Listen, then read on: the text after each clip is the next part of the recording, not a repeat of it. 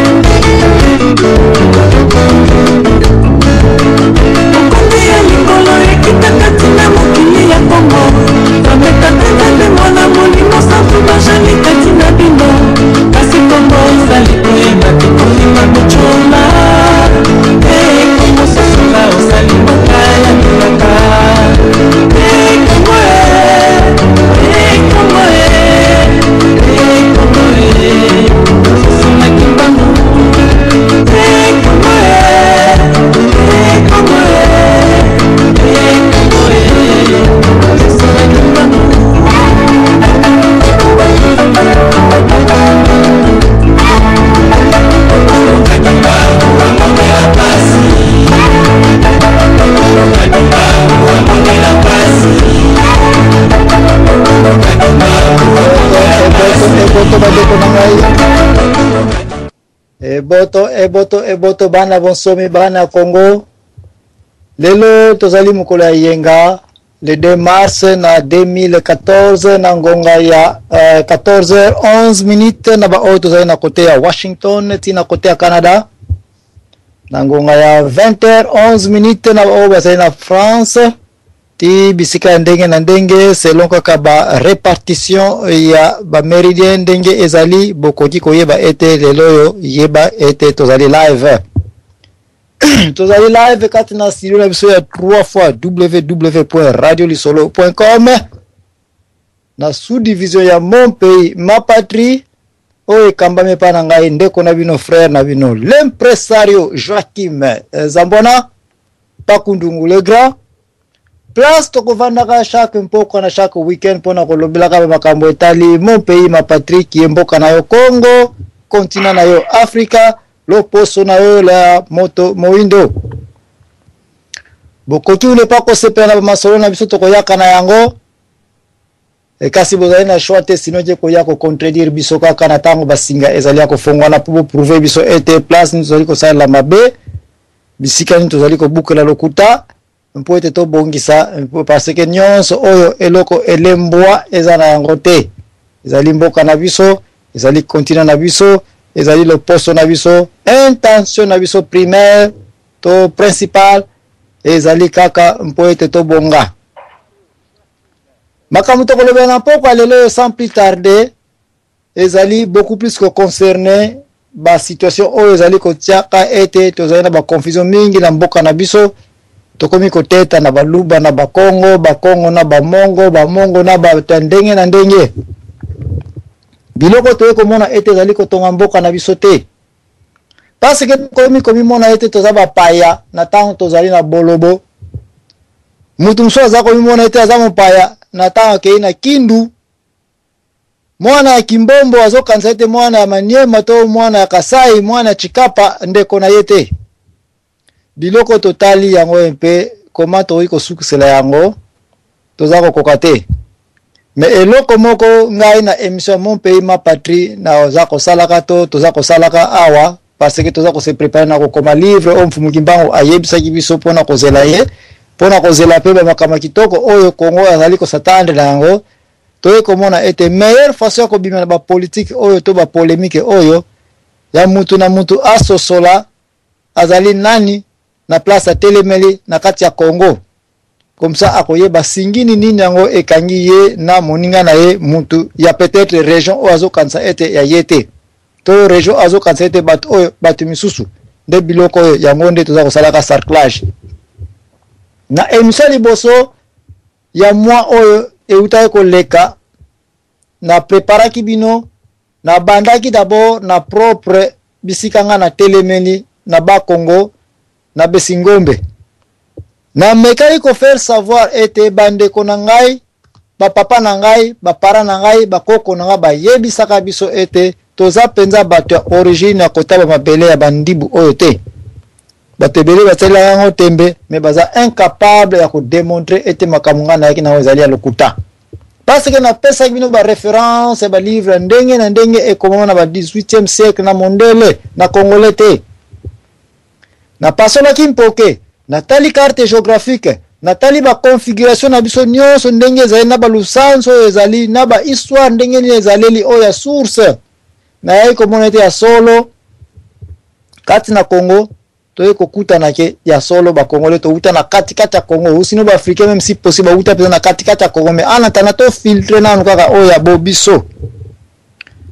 après que napesi bato ntango ya tro bato mingi bakomeli ngai na facebook na, na, na, na, na baemail makambo ndenge na ndenge batante ke yaka mpe na situation oyo oyo oyo yo olobeleki ya besingombe pourquoi pas lelo omata mpe lisusu opesa biso mpe lisusu baorigine ya bato mosusu Oyo ya Besingombe kuna tembe lisusu te. Meme ba propre Besikanda oyo bayinaki nga ba jour eleki lelo baza su koyina nga te parce bakomi incapable ya ko demontrer pe ko prouver ete ya solo bawutaka na Kasaï te. Donc lelo c'est confirme que un Musingombe c'est un Kasaïen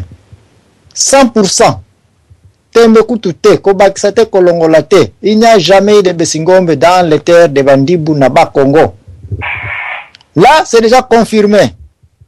Est ce que epesi polemique rien mais nde desormais Musingombe faut banda ko respecter ndeko na yo ya Kasai.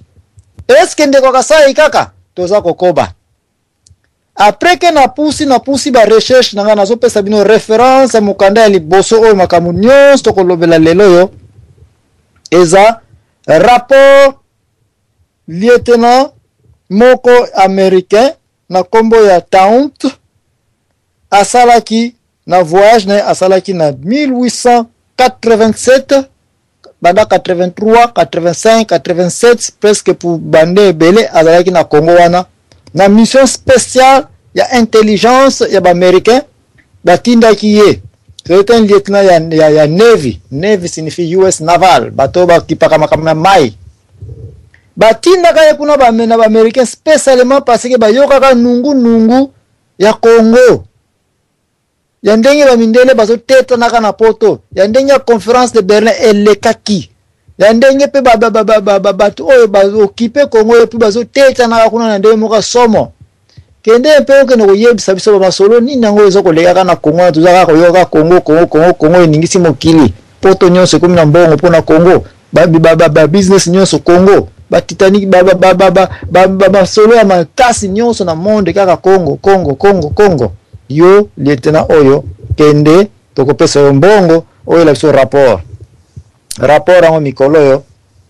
na ba nungu nungu na ndenge toza ko insistaka na la ba library of congress enfin babimisaki document yango officiellement donc mpo na yo moto na biki na papier okoki noke na internet okende koverifie makambo nyonso koloba na mpoko ya lelo oyo kende mpe beta mo oyo us donc i s us navy navy congo river donc rivière du congo oyo nazo eza na, na anglais kaka congo river the us navy congo river expedition expedition of 1885 donc expedition sur la rivière du congo par la navigation ou bien la force marine américaine de 1885 soki okangi yango te koma mpe lisusu na se wana leta donc lettre mais na anglais leta Letter from the Secretary of the Navy, lola lettre a partir ya secrétaire d'État américain ya Navy ya navigation. Eza livre moko livre te mais eza rapport eza lettre moko ebombamaka comme un grand secret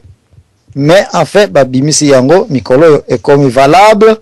comme livre te mais comme pdf okoyoki na internet soki obeti biloko oyo okokanga yango eza na librairie américaine oyo ya navy département ya force navale américaine letre yango yango moto okumba biso na koprouve ete lebesingombe ce sont les bana kasai Lettre yango yango mpe moto ekoprouve biso koma Congo banviyaki yango koma Congo ezalaki eloko moko ya ntalo koma Congo moto nyonso soki okofongola miso te mwana Congo tu n'auras rien na Congo Congo bapointe yango depuis kala lettre yango ntango bakomaka yango ezalaka na le 10 octobre 1885 lieutenant oyo apesaki rapport na ye na, na octobre 1887 Enfin, ekomaki officiellement na ba bureaux par etude na bureau d'étude ya US Navy bazwaka lettre yango na mois de mai ya 1888 wana mfumu kimbangu aza na na ina ne kutu aza nano bebe nde heure wana masolo oyo ya lettre oyo ekomamaka mais parce que eza na 25 page na baekri ya mike mike mike soki oyesango minene ndenge basikanaki yango ekoki kopesa biso bapage ebele Mais en attendant, ba rapport eza wana. Moto akomaki yango lieutenant oyo en tout cas asalaki mosala kitoko. Parce que abandaki kokoma buta jour alongaka na Europe akiti ti na le 26 février 1886 abandi kokoma nakomi na matadi nakomi na boma nakomi na vivi nazwi caravane tobandi koya makolo makolo bana na mpozo wana Tii toye kokoma na Gombe Lutete, na le chez Lutete. Na yebisaki bino ja Gombe Lutete, bato ya Lutete, bato ya Ngongo Lutete, bazalaka wana kie bato bapesa biso bamfumu kimbangu, bato bapesa biso Besingombe. C'était là leur regroupement, lettre oyo pe pas curieusement mais parce que ce sont des faits eza kolanda na congolais moko aza ta wa ko prouver nga biloko même so oza historien archiviste ou qui que tu sois Ne me faut meme pas parler de Muanda Nsemi, nakobeta bino severement na ba documents oyo naza nango awa, oyo yo pe oza nango parce que napesi yo reference. Congolais, soki okosamaki na ba lettres, ba livres, ba histoires na ba histoires oyoka, banda kozibula meso. Mpozo bana batu toyebi mpozo. Ba ba ba mbanza manteke toyebi yango. Boye na nzela nzela nzela ti boye okoma na ngombilite toyebi yango. Tata oyo ekoloba ete ntango bakomaki na ngombe lutete wana bakutaka deja bato baye basila kosala babato babato wana bakumbaki yango une affaire de 100 bato kotindikaka pièce ndambu ndambu ndambu ndambu ti na stanley pour oyo ebengami lelo kinshasa pumbu nde place wana bamontaki babato wana ebanokenda ti na likolo chaque village bakutanaki nango babitumba Chaque difficulté bakutanaki nango na bato bakutaki deja kuna eza telema mingi telema mingi parce que azokende date par date le 15 le 18 le 19 tokomi na mois de mai mai juin le tel date par date ville par ville événement par événement rapport oyo na us navy eza severement complet na papa oyo lieutenant oyo mutu akendaki kosala sondage ya koyeba qu'est-ce qui se passe na Congo mais parce que yo okozwa temps ya kotangaka ba biloko oyo okoyelaka biso na bajour ekoya okoteyaka yango okoretouche histoire ya Congo ndenge okolingela yango merci ke document oyo ebimi biso tokokende suku kuna mpenza mingi mingi te mais en attendant lelo eloko mpenza tokolobela awa na kati na mokanda oyo ndenge napesaki bino sujet tokolobela kwamut mingi balobaka kwa mut mais en vrai dire eza kwa maf maf signifie munoko la bouche la bouche de kwa muf que signifie la bouche de kwa muf et pourquoi kwa muf lelo eza eloko moko yo kongole fo koyeba yango meme ngai nayebaki yango te me na barecherche oyo ndenge tosali barecherche ya sankuru sankuru efongoli biso makambo ebele epuis lelo oyo tokolobela kwa muf kwa muf Kwa mamf nayebi te comment okobengela yango mais en attendant mamf wana ba americain topesa yango kombo munoko la bouche eza neti kaka l'embouchure du fleuve congo mamf kwa mamf mpona information na bino eza na bandundu à quelques kilomètres de Kinshasa kaka bato oyo basi bakenda na ba Equateur ba nini par mai bato bayebi ke signifie Kwamouth mpe Kwamouth yango eza wapi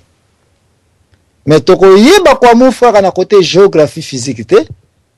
géographie politique te Mais tokoyeba pe point strategique ya pourquoi Kwamouth eza clé pona yo Congolais oyeba yango peut-être ekobana kokangaka pe minoko na biso na date ya lelo yo na batu ndenge toza ko kokanisaka o oh, bango bato ya bandundu a ah, bango bato ya bakongo a ah, bango non malembe parce que biloko oyo eza kotia azunaka congo c'est parce que mon peuple péri par faute de quoi de connaissance sans quoi mouf Congo eza te. Hmm. nayebi ke moto akotuna nga ah comment parce que valeur ya congo eza bassin mindele ntango awelaki congo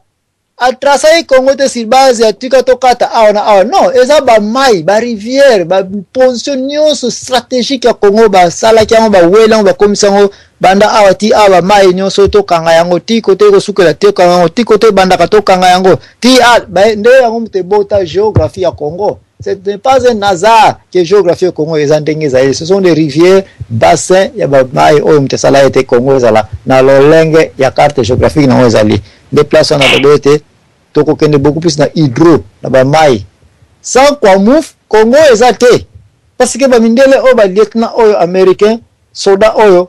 un expert un scientiste na kota ba biloko oyo ya ba navigation ba mayi ba nini na ba recherche ba americain bakoki kotina moto na expedition ya boye te na 1886 te soki bamonaki te ke aza moto moko aza na ba expertise yekoka po ayela bango rapport complet bango baza na temps ya bakotindaka ba corrompu te ce n'est pas comme le gouvernement kabila ke bakotindaka bato bakende koboma kotindaka bato bakende kosalaka ba enquête sur base ya ba intérêt personnel na bango ya mbongo na bango ya ba ki franc maçonnerie na bango non on envoie des spécialistes pas on a raison ya nous voulons avoir un résultat concret et pour des raisons ya intérêt ya mboka to nini voilà il faut kotina moto ayebi masolo pas parce que aza moto ya parti politique na nga parce que aza moto ya club na biso tozalaka na ba rébellion kobomaka bato ensemble voilà pourquoi natie moto na poste wana non Ba americains ba pesaka mutu ba mission, ba poste, ba role sur base ya expertise na mayele omonani ozali na yango pas sur base ya parti politique na ngai ya, ya lokuta ya kindumba ya, ya, ya, ya moyibi non ya wana Congo ebebi parce que mutu nyonso aza specialiste quelque part c'est un voleur c'est un brigand mutu aparticipaka na bakabala baku ya ndenge na ndenge tya ye wana nde mboka ekoki kobonga na modele ya boye te donc expertise ya mutu oyo totya yango vraiment en jeu que Il a bien ecrit ba makambo toko lobela awa. Kwamuf. Kwamaf. Ou nini suna loba maf munoko. Nalobi bien eza na likolo ya Kinshasa soko za kolanda fleuve di Congo.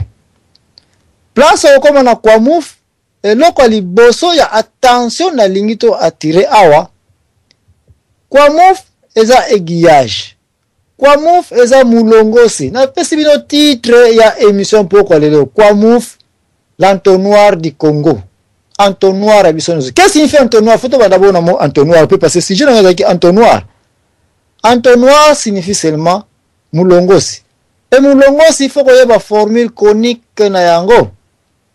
Kote ya munoko ezalaka munene, ekoki koyamba ba liquide ya ndenge na ndenge eye et puis eye kokangama na kati kati ya tube et puis tube wana ekiti na se nde yango moto ekopesa biso mayi ekomi kobima malembe malembe parce que volume ya mayi eleki mingi na likolo et puis na se kuna ekomi kokita malembe malembe soki pe oza mayele na place ya, ya, ya place tube ebandeli ya muke po efongola cone ya munene okoki pe kotia filtre place wana okoki kotia kiyungulu okoki kotia pe elamba mavusu coton elingi koloba ete eloko nyonso kozwa oyo ekobima na se ya litanga ya bamai wana ekozala filtre Soki ezalaki mai ya potopoto, mai ekobima très propre.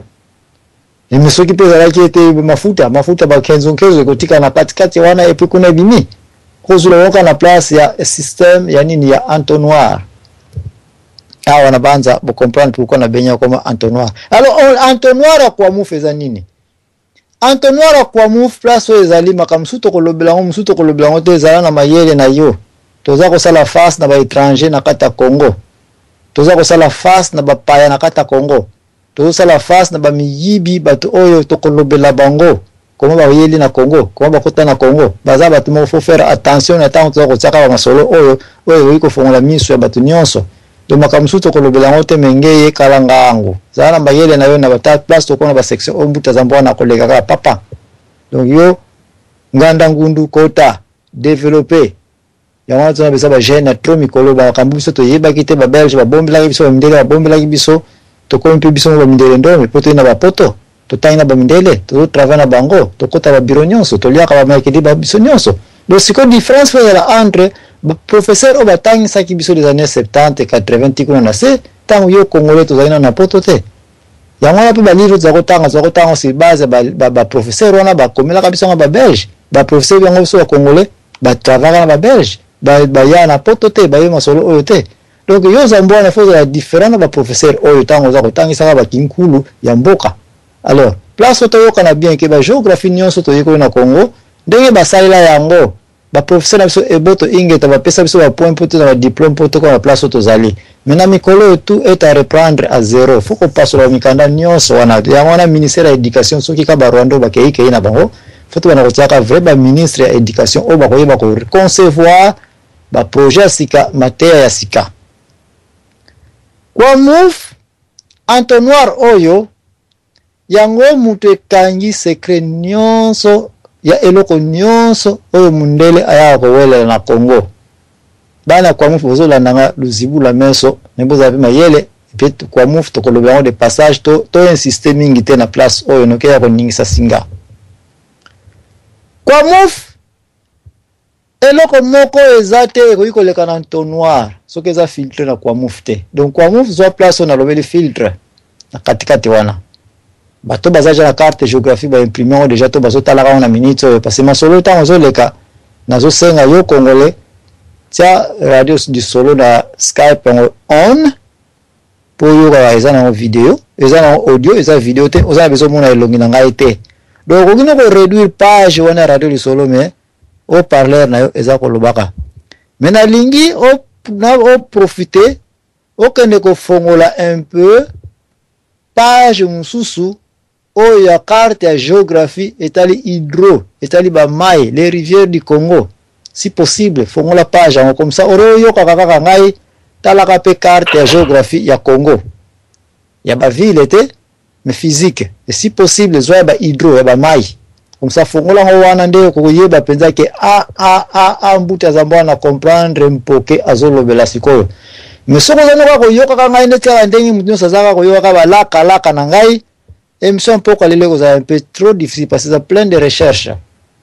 eza émission moko bato mpe bakokota na bango bokoya mpe kotia bacommentaire na bino mpo bopemisaka ngai peut-être Soki collaboration ekozala na papa Mayama na studio nka ba emission yango na lingiaka na lobaka na bino heure mosusu na lingiaka beaucoup plus traditionnel. Na Kwamut ba rivière nionso ya Congo en dehors de Kinshasa ti na ba Congo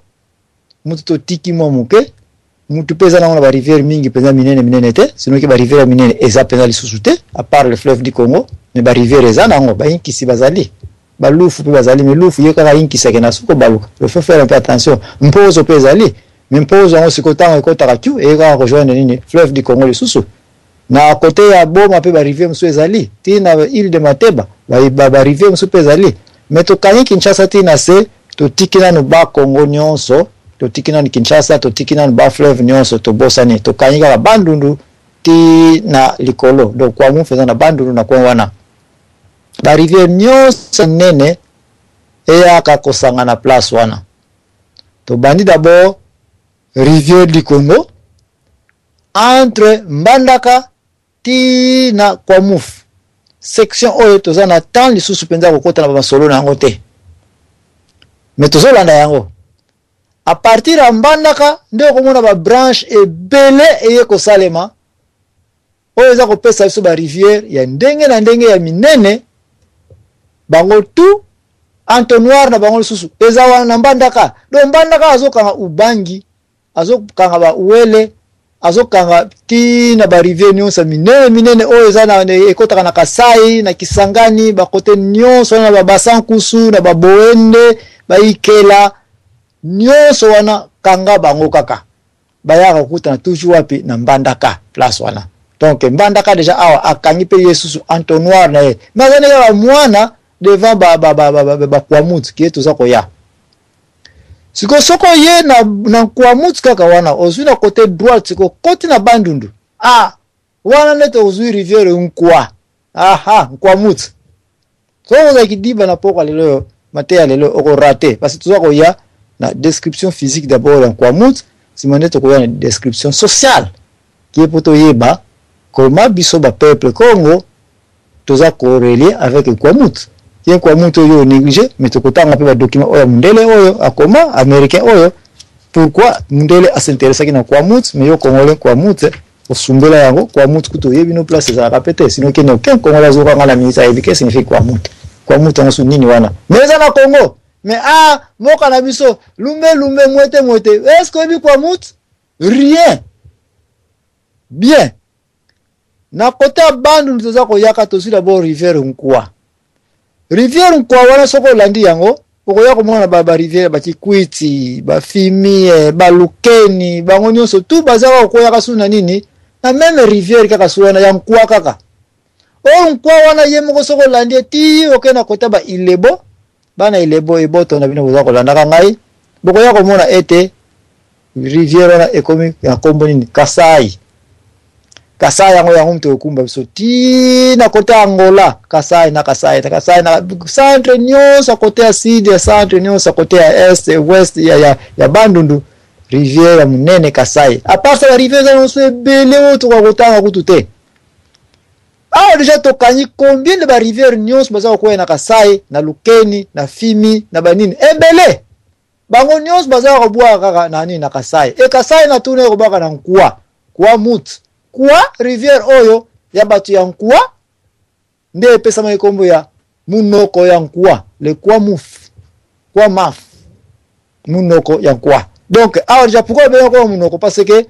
baentonnoir nyonso oyo mai nyonso oyo ezouta na kotaka sai ezala ya propre ezala ya salite ezala banzete ezala banini baza koya bakosuka na kwa mutu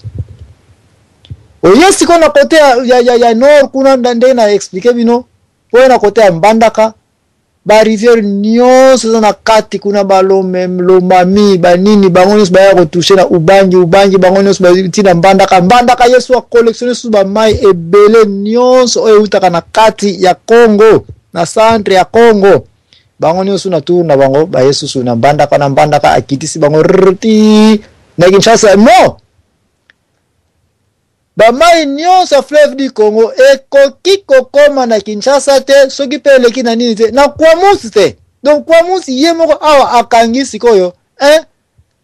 ba mayi na cote droite nionso ya Bandundu ya Kasai ayambi yango na Kwamouth.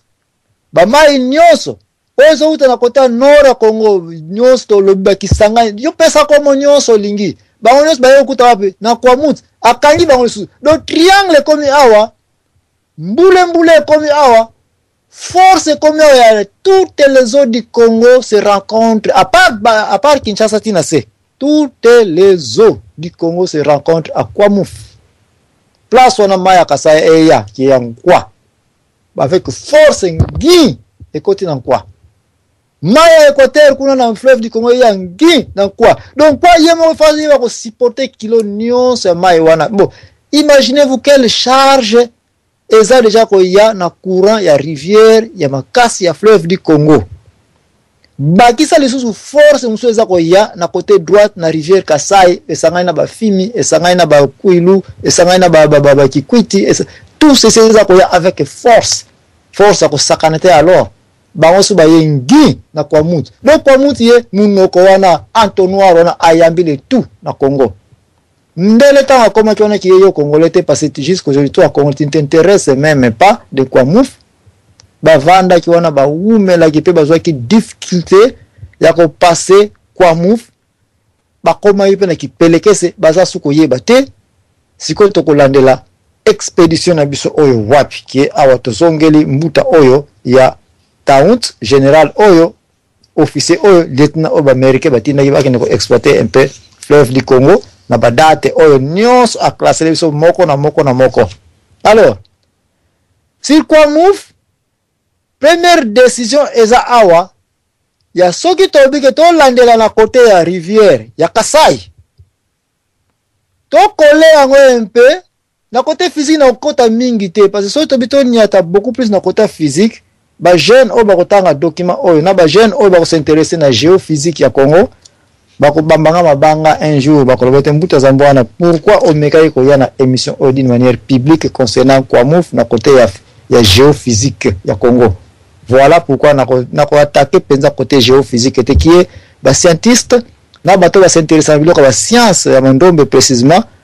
Na tikeli bino bo developper cote wana mais nga na fongoli bino mpoke pour vous dire que bo meka mpe ko se concentrer na Kwamouth, bo meka mpe ko yeba qu'est-ce qu'on peut faire sur Kwamouth et massive nini eza na Kwamouth physiquement, geophysiquement, geominerais mpe na kati ba geo, geologie nyonso totiango entre parenthèses parce que tolingi te bana na biso ya Bandundu, bandeko na biso ya Kwamouth Après emission oyo lobi bakende kokotela bango na batuchi oyo baza na Kinshasa wana avec tous ces voleurs batondi na Kinshasa tolingi pe te Kwamouth ekoma na danger mais en attendant na ko inviter yo mwana diaspora okoma mo Kwamouth kwa KWA MOUTH, otia yango mpe na agenda na yo. Kasi tokomi kaka muke muke, na nasomba lupango na Kinshasa na Gombe kaka. Na nasomba lupango na Kinshasa na na ngiri ngiri kaka. Eh, c'est bon. Mais ngai na pesi bino d'abord kombo ya Kwamuf, bosala ba recherche na bino. Et je pense que mwana moko te aza na diaspora oyo akozala incapable ya kosomba ata 100 mètre hectare na ye moko na Kwamouth wana qui est Kwamouth eza parmi ba masolo oyo jour bato bako decouvrir to qu'est-ce qui se passe qui se passerait sur Kwamouth na Banza oko regretter date ya le 3 na, ya mars le 2 oyo na yebisi yo ete Zibula meso un peu na kwamouth s'il faut okende kosomba ata bilanga na yo kuna banda koluka ka dejà moyen obendana na kwamouth kwamouth eza centre moko tangu congolais akoyeba masolo na ye ako recuperer mboka na ye na banza mingi bakotika kinshasa et alors wana tokangi nanu page wana mais to continuer sikoyo na cote ya cote nalingi eza un peu utile pona biso nionso toyeba meme si banguna na biso bayoki bayoka na bango etali bango mais oyo peut-être yango moto opesa biso mwa moke valeur sur recherche sur kwamuf qui ezokende similaire na oyo nasalaki na besi ngombe le ngombe donc tokoti sikoyo na kote ya sociologie to na valeur culturelle na biso ya kwamuf kwamuf na banza awa selon rapport lieutenant oyo asalaki ya us navy c'est clair que na ba na ba bateau wana ba akutaki na Congo oyo esalema deja na ngombe lutete chez les lutete chez les ngombe bato wana ba bateau oyo bazali kosalela leta azalaki deja na de bateau oyo leta ezalaki nanu te awa toza kolobelaka awa Congo kombo Congo mpe awa fo tosala attention bamasolo elingi eleka awa première erreur tokosala ya kokanisa ete Congo Brazzaville Angola Cameroun Nigeria non ba mboka oyo ezalaka nanu te ba kombo oyo donc banda mpe kolongola yango mpe tozwa kaka ke bato baza ko vivre na section oyo lelo ekomi kobengama Congo c'est comme ça o comprendre masolo ya Nkwamouth oyo ndenge wana mpe ba mingi barataki masolo ya Besingome parce que baza kozwa idee neti kaka Angola Cameroun, Sierra Leone, ale to perdre mais bazo bosa na date nini ba masolo oyo eza koleka donc awa nazongisi bino na 1883 84 ti na 87 na ba section oyo toza kolobelaka awa donc faut sala mpe attention soki te émission oyo ekobeta poto na motema na yo le jour ocomprendre yango déjà bato bakoma mosika yo ozalaka na premier primaire donc faites mpe attention bato awa na kwamuf mundele oyo ntango ayaki awa azwaki decision ya ko continuer nzela na ye ya exploitation ya ba biloko ya yoki ete ezobima kaka na Congo. Congo eza mboka moko batu bazoloba Congo Congo Congo Congo oyo ba mindele bazotetanaka na yango. Ba ville ebele akendaki alekaki akutanaki na ba resistance locale, soki na bi resistance locale ba mfumu ntoto bankolo ya mabele balingaki komona mundele te Parce que bayebaki deja ete bamindele baza koya awa mpona koya koexploite biso koya kobundisa biso koyela biso kokanga bana na biso kokanga mibali na biso kokumbaka bango na baexploitation oyo bango ka bayebi bazokendaka biso wapi kie awa toza kolobelaka na temps ya baesclave mundele oyo akomaki barapport nyonso etango tokomaki na mbandaka par exemple batakaki biso tozwaki bato na biso tokimaki me question ezali Na bateau na ye wana oyo azuili a partir ya Kinshasa, fabrique a partir ya Kinshasa, monte a partir ya Kinshasa, kiye awa toza kolobelaka awa ba ngombe lutete baza kokuma yango na, na mutu ti ba pièces kuna kotiaka wana deja bato bazali deja bien développé awa Aku, na, na conclusion mundele na koyebisa bino koma aza koloba ete na kei na mboka wana Depuis temps ya kala il n'ai jamais eu la pauvrete bazalaki na bibende bazalaki na biloko ya boye na boye awa ba ndeko ya bokoko botielaka ba ndeko ya bokoko tembe na ko prefere l'enfant noir otia pe attention soki oza koyoka ngai yo mutu ozalaki koloba ete ah bakoko na biso vous ce n'est pas vrai il n'avait rien na ba conclusion ya awa na ba page yango peut-être soki osi obeti deja makambo yango na YouTube kende kowela kotanga dernière page 24 25 ntanga eza na anglais mais tanga dernière page entre na page 24 à 25 Peut etre ekozala malamu parce que okokana kotanga ba page 25 nionso oyo te nde kuna tokotanga tokoya na conclusion donc bato bazali ja ba bitumba bazali kokutana na yango d'une manière locale mais oyo eza kointeresse biso tokokanga lelo mpo tokumba émission na biso place oyo tolingi ekendela émission oyo eza mpe trop compliqué na kote ya stanley fall Stanley fall out zoko to to kotombla mimi na boyoma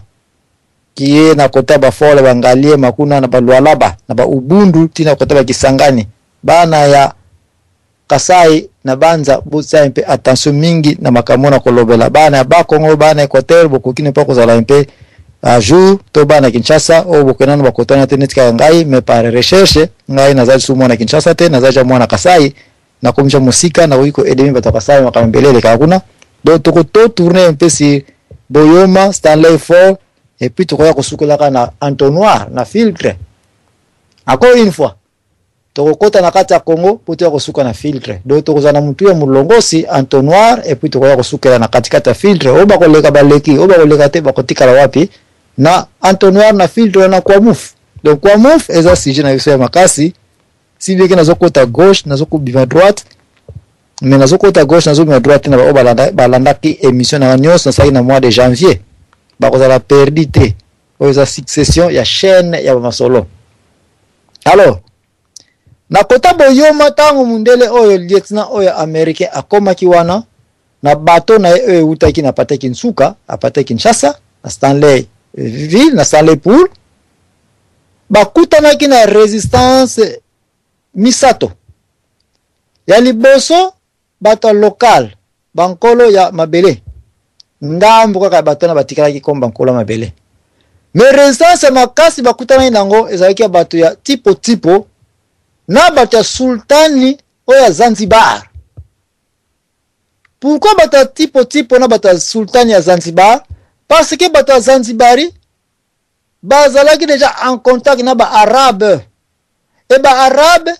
bazalaki na force ya kosakana te parce que bango mosala na yango ezalelaki kokota na kati ya Congo kopiye koboma kozwa ba ivoire précisément na ba minerais oyo bayaki kodécouvrir na kati ya en pleine Kasai na ba minerais mosusu na kote ya Katanga Nionso wana baza ko zua yango deja ekomaki deja biloko ya sultan na mukonzi ya cote ya ba zanzibari kuna nde bazo zua yango na ba bateau na cote ya ocean bakeyi na yango ti na poto bazo ko salaka ko teyaka ko teyaka pe na ba esclave ba masolo ya ndenge wana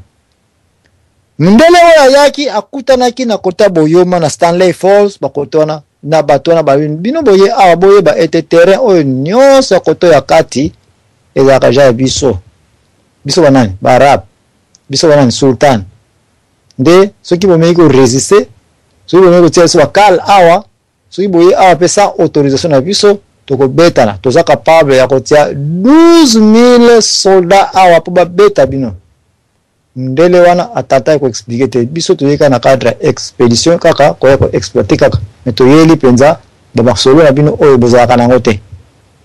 na meme periode wana kaka Troisième resistance ezalaki bato ya tipo tipo. Bato ya tipo tipo bango mpe lisusu ba conseil so bakotana nyonso ya katikati avec les arabes, avec des esclaves, bato bawuta par ci par là, basalaka misala ya makasi kuna kobomaka ba nzoko oyo nyonso bakoki ko exploiter comme bato ba occuper ba villages ezalaka wana.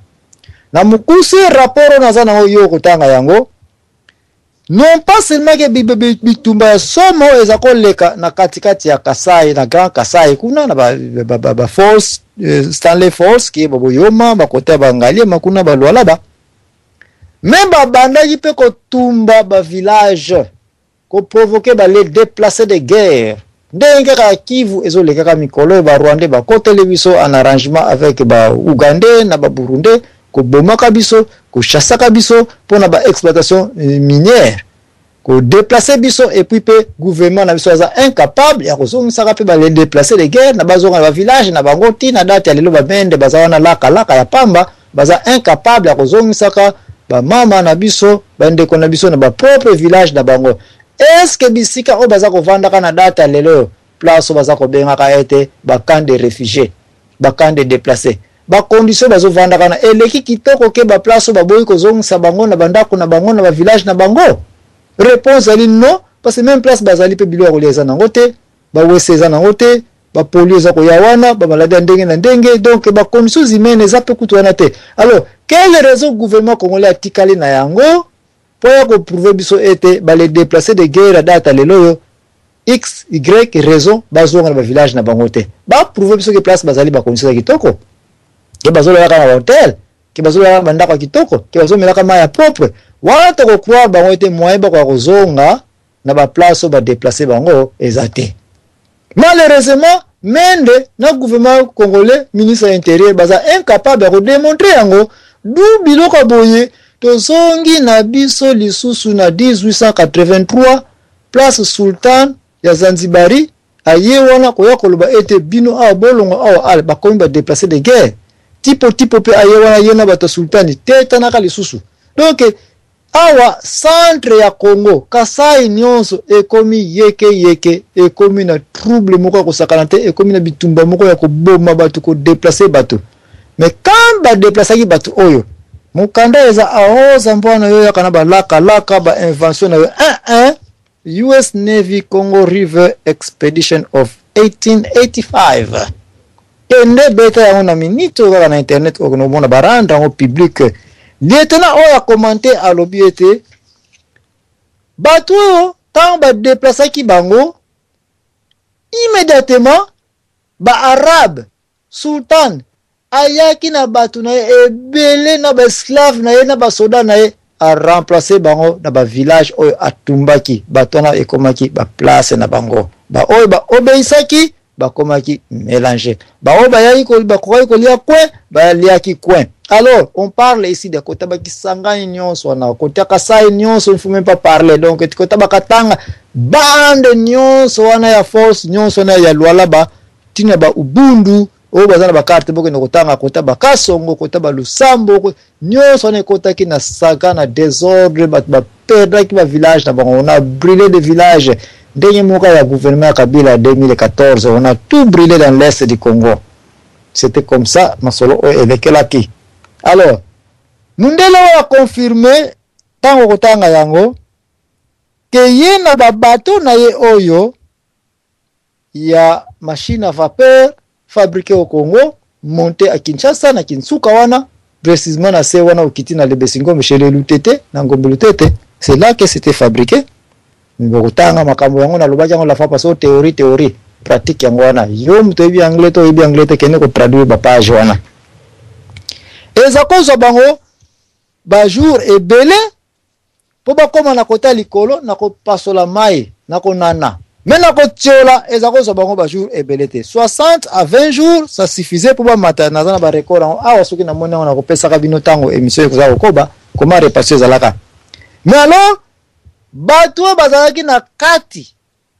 ya centre ya geographie ba mayi na pesi bino nakomi kozonga sikoyo geographie oyo napesaki bino ba oyo babendi carte geographique bokomona ba mayi nyonso eza komisa te na kota kasai equateur na katikati wana na bandundu kie kasai lisusu kie emission okobosana te nabakisaki titre na se wana après ke natiaki nkwamut entonnoir ya congo virgule nabakisaki lisusu bato ya bandundu ce sont des kasayen kie naza koya kobosana te rivière kasai ewutaka na kasai ewutaka na ngola ekotaka bandundu nionso me kombo rivière rivière kwa kasai me ebongo kasai yango elekaka na, rev- na, na province ya kasai no elekela na province ya- ya bandundu koma yo moto ya bandundu okende kozala na rivière rivière oyo ya monene rivière oyo eza principale me rivière yango kombo na yango kasai epuis yo moto ya bandundu Tango emission ekokoba omeka kotiela nga tembe ke oza un kasayen te. Bien. Awa toza koloba ta ya kala kala, toza kopusana. Document oyo eza ko confirmer ete tango ba déplacer de guerre oyo basali esalemaki esalemaki les peuples les kasayens Soki ba bengamaka Kasai na heure wana tia kaka Luba ndenge nazo kende na ndenge mundele oyo akomaki livre oyo document na ye rapport apesa yango na tange bino annee oyo ekomaki na librairie ya Congress na maison blanche rapport tango yaka ezaka na 1887 baoyo baza kolanda ngai baza na origine na 1888 na mois de mai mais akomaka yango à partir ya 1887 ntango banaki kokoma rapport ne oyo bato oyo balandaki bamai mai mai mpo na kokima unique possibilité okoki kokimela baguerre oyo c'est de suivre seulement les eaux mundele oyo mpe aconfirme yango oyo document soki nao ezwila yango ntango nasalaka biloko ya besingombe nde nanga nasepela me naye kozwa yango après émission ya besingombe kiye contradiction moko eza te bato oyo ntango bakimaki kimaki na kotaka sai na nzela ya sankuru Okoki kokima na mayi na nzela ya Sankuru, rivière ya Sankuru te soki okomi na Ilebo te. Okoki mpe kozala na Ilebo te bongo kota na saga ya ba bitumba ekweyi bongo ozwi Sankuru eya kokotisa na rivière Kasaï te. E okoki mpe kokota na rivière Kasaï te soki oye kokoma na Nkwamouth te. Okoki mpe kozala na Kasaï te bongo oza kokimaka na rivière ya Lukeni na Fimi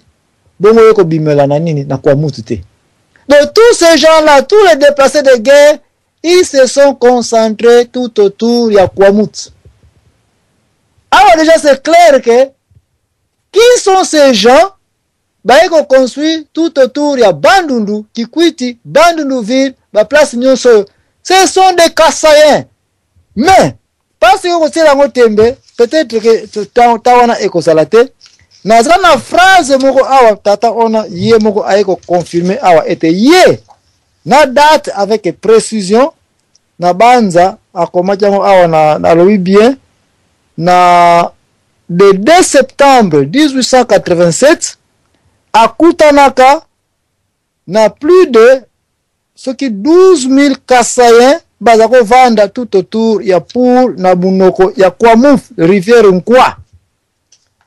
Naza na temps ya kotanga lino biloko mpenza te parce eza na anglais, wana tokozwa temps mingi. Deux fois aye ko confirmer ete sur Nkwa Quand on parle de Nkwa, on parle de la rivière Nkwa. Rivière Nkwa yango nayebi nanga te pourquoi eza bongo, mais rivière Nkwa oyo oh, eye kosangana na rivière ya Kasai. Donc ba Kasayen oyo oh, bawutaki na kati ya Congo, de déplacer de guerre ya Zanzibari na ba déplacer de guerre ya tipo tipo, baye ko se retrouver na Nkwa en venant de toutes les rivieres oyo ya centre ya Congo qui est le grand Kasaï, lelo tokomi na Kasaï oriental na Kasaï occidental, les deux Kasaï wana soki osangisi ba Kasaiens kaka tobengaka bango. Mais awa tata oyo a insistaki kutu kombo ya Kasaï te, alobi bien les Baluba Eza awa très clair na ba documents otanga kotanga yango que les Baluba il y avait plus de 12000 Baluba oyo ya liboso akutaka na place ya rivière Nkwa rivière Nkwa yango wana moto epesi biso nini bazalaki na se ya commandement ya un certain allemand Kombo na ye Wiseman, lieutenant Wiseman, parce que baza kotindaka ba soda ba soda ba soda ba tango ba expedition oyo eza kosalema na air wana. Donc lieutenant Wiseman ye nde mutu azalaki en charge ya Kwamouth pona ko contrôler population nionso oyo ezalaki concentre na place nini na Kwamouth qui est Nkwa Mamf qui est munoko ya Nkwa. Donc awa c'est confirmé ete Batu ya Bandundu baza deja melange avec tous les rescapes, tous les residus, tous les fouillards, batu nyonso bakimaki guerre kuna batumbaki bandako na bango baye ko se retrouver sur Nkwa parce que bamosusu bayelaki na kati ya rivière Uele na kati ya fleuve du Congo na Lomami bakiti na se baye kosuka na Nkwa Ba mosusu par contre bayelaki mpe kaka na kati ya rivière ya Lukeni, bayelaki mpe na rivière Kasaï, bango nyonso baye ko se retrouver wapi? Epai ya lieutenant Wiseman, mutu azalaki en charge ya ko grouper station wana, bazalaki kobenga yango ba station, ba place oyo na aero, ba ville nanu te, c'etait des stations, donc station oyo controlee par l'allemand, mutu azalaki un explorateur, lieutenant mpe à la fois soda, Wiseman, donc Wiseman ye nde mutu a controlaki batu oyo,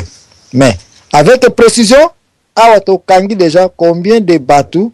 ya ba wuti na Kasaï oyo baye ko se retrouver place oyo est ce que ba zongaki lisusu absolutement pas peut etre ba sukelaki kaka place wana ba komi pe ko vivre avec paix wana première section deuxième section ya Kasaï to zongi su na côté ya Lomami kuna côté ya ya ya ya, ya Sankuru to zongi su na kati kati ya centre kuna ya ya ba batu wana mundele oyo a confirmer ete Batu oyo bazalaki ko remplacer bango c'était beaucoup plus des esclaves oyo ba arabe bakangaka oyo ba arabe bayaki na kote ya ouest te kote ya ba Congo te kote ya Kinshasa te baza koyela toujours kote ya est ya Congo na sultan de Zanzibari bango nde baye ko remplacer bango place wana et soki ba remplacer bango place wana Cela veut dire que désormais, ta date ya lelo yo, nous devons déjà commencer déjà à tracer et à conclure que la plupart des Kasaïens awa sujet tabou eza te toza kosala émission pour to retracer histoire ya Congo eza te que pour to plaire yo to pour to déplaire yo histoire tant bakotiaka yango bakotiaka yango na ndenge ezali ici on commence déjà à accuser que centre na biso ya Congo Apparemment eza centre ekomaki occupe na le 83, 1883, 1884 par des étrangers, par des esclaves. Po mundele oyo alobi bien, akomi na lettre ne akomeli ba Americains, atuni bango. Est-ce que ba esclaves oyo oyo baye ko remplacer ba nkola mabele awa, baluka ba documents, bapesa bango ba papiers? Réponse ezalaki na munoko ye moko lieutenant Towns oyo alobi ete absolument pas. Pourquoi pas? Parce que meme ba esclaves oyo, precisement bana ya basi, bako, baza ko se sentir meme beaucoup plus à l'aise ya kozala na ba falls Stanley Falls qui est ba, ba, ba, ba, ba Boyoma, ba kote nionso oyo na kote ya centre ya Congo na Kasai parce que bapesi bango mpe bacondition ya bien un kolia eza kitoko kolata kovanda eza malamu babali mpe bakoto oyo baza pe ko se ko tourner très bien na koto ko salaka ba commerce ba ivoire na ba makambo ndenge na ndenge du eza ne pe na importance moko te mpo ete tokende ko se déranger na ba esclave oyo contrairement na ba natif oyo baza ko se sentir à l'aise te oyo ba se déplacer déplacer pe likolo ya batumbaki ba village na bango na bazali soko se sentir à l'aise te na ba condition ya ko vivre na ba paya oyo kiyeba nani batu ya tipo tipo na bato ya Sultan de Zanzibari. Voilà pourquoi bato oyo tika bango kaka bongo ndenge bazaleli, on ne peut rien faire avec ces esclaves. Nde bongo awa zala mukolo nga mpe nazala mukolo on peut déjà comprendre que les vrais kasaïens les vrais bana ya kati Ce sont des deplaces de guerre. Okotiela ngo tembe, yaka kozwa ka ezoleka na Kivu, na Nord Kivu precisement. Na Nord Kivu, na Banza, precisement na kota Baruchuru, soki gouvernement congolais derrière Julien euh, Paluku, l'actuel gouverneur ya, ya, ya Kasai, soki akozala mayele te, Ekozala trop facile mpo a faciliter mpe ba scenario oyo toza kolobelaka awa que bankolo ya Rutshuru, Beni, Masisi, Bunanganda, Runman, Ngabo azo risquer na ye mpe atika yango kaka boye occupe par des etrangers et puis bien après na bambula ekoya Bana wana bakomi mpe kobeta tolo ke place oyo eza ya biso pendant que les vrais bana ya Rutshuru, Rumangabo, Masisi, Nyiragongo baza ko se retrouver na ba camps de refugies et gouvernement congolais de Kabila aza incapable ya kozongisa bango. Scenario oyo il n'y a pas une difference awa ke mundele oyo ngai te a confirmer yango ete Batu oyo bazalaki remplacer par des esclaves arabes et par les arabes eux memes aussi na batu ya sultani na batu ya tipo tipo oyo bawuta na zanzibari na place ya boye pourquoi na invite yo congolais okola pourquoi yo congolais mpo otika confusion Pourquoi nga pe Congolais nabana ko comprendre que pourquoi nous avons des problèmes maintenant na kati ya Congo ke bato mosusu ntango ekomi na situation politico-administrative, défense territoriale, intégrité nationale, toza komitungisaka me ah parlementaire tel kuta aza mwana kati pire mwana ya boyoma pire mwana ya, ya, ya, ya lomami pire mwana ya katakokombe pire moana ya Sankuru, pire mwana Lomami. Mais maintenant, les choses commencent à devenir trop claires avec les recherches de Mbuta appuyées par les US Navy Congo River Expedition of 1885. Mundele rapport na Congrès américain. Il y a eu des déplacés, des natifs, des landes, des de, de terres, malheureusement remplacés par des étrangers Donc awa c'est clair que les vrais Kasaïens d'aujourd'hui peut-être na yebi te pourcentage na koki kopesa je me réserve baza mélanger avec les Anzibari. Grave encore tant kotanga document oyo mundele oyo a confirmer que même ye moko na tango ayaki na Boma na bas fleuve na, ma, na bato ayelaki na kopesa bino bakombo ya babato yango ayaki kokuta Batu oyo bazalaki beaucoup plus na confiance ba mindele ba pesaki ye na boma na bas fleuve oyo bakokaki kokumba ye na kati kati kuna na masolo oyo po akende ko exploiter centre congo po apesa rapport na roi leopold de ville ke roi paul 2 ke ya solo gouvernement americain atindaki ye po aya na mission ba belge ba portugais na ba français baboyaki kopesa ye ba natif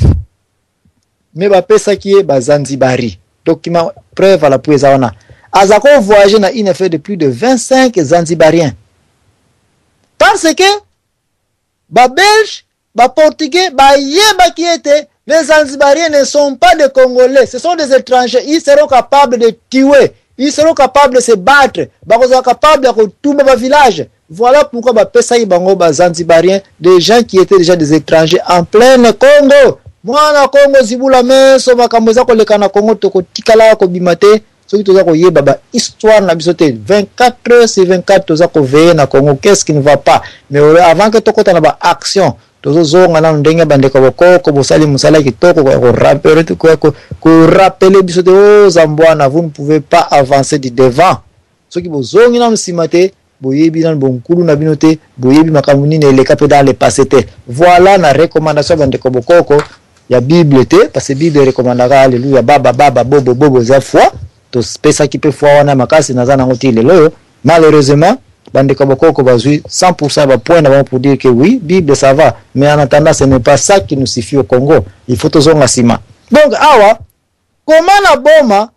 Mundele ba yebi se ko pesa confiance na bana ya ba natif te mais travailler na ba zanzibarais grave encore travailler na ba ousa ba ousa na banza ba ousa ba uta wapi na Nigeria j'étais surpris na kotanga ba documents oyo yo pozo kende kotanga ka na yo bientôt que il y avait aussi des ousa au Congo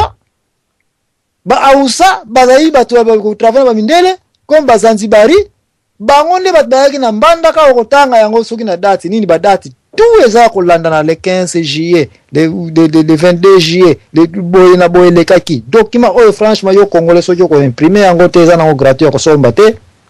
je regrette pour toi me ngai nayebi ke ntango ngai nakotangaka document oyo ere mosusu mai ya miso ebimaki ngai mpo na komona koma biloko ezalaka organise par des gens qui étaient détectés qu'ils ne sont pas des congolais Mundele oyo a travaille na ba zanzibaris les non congolais, les non natifs, voila pourquoi bazali capable ya kosala ba saga, ba desordre, kotumba ba village po bango ba progresser na ndenge bazali ko progresser. Alors toza kopusana,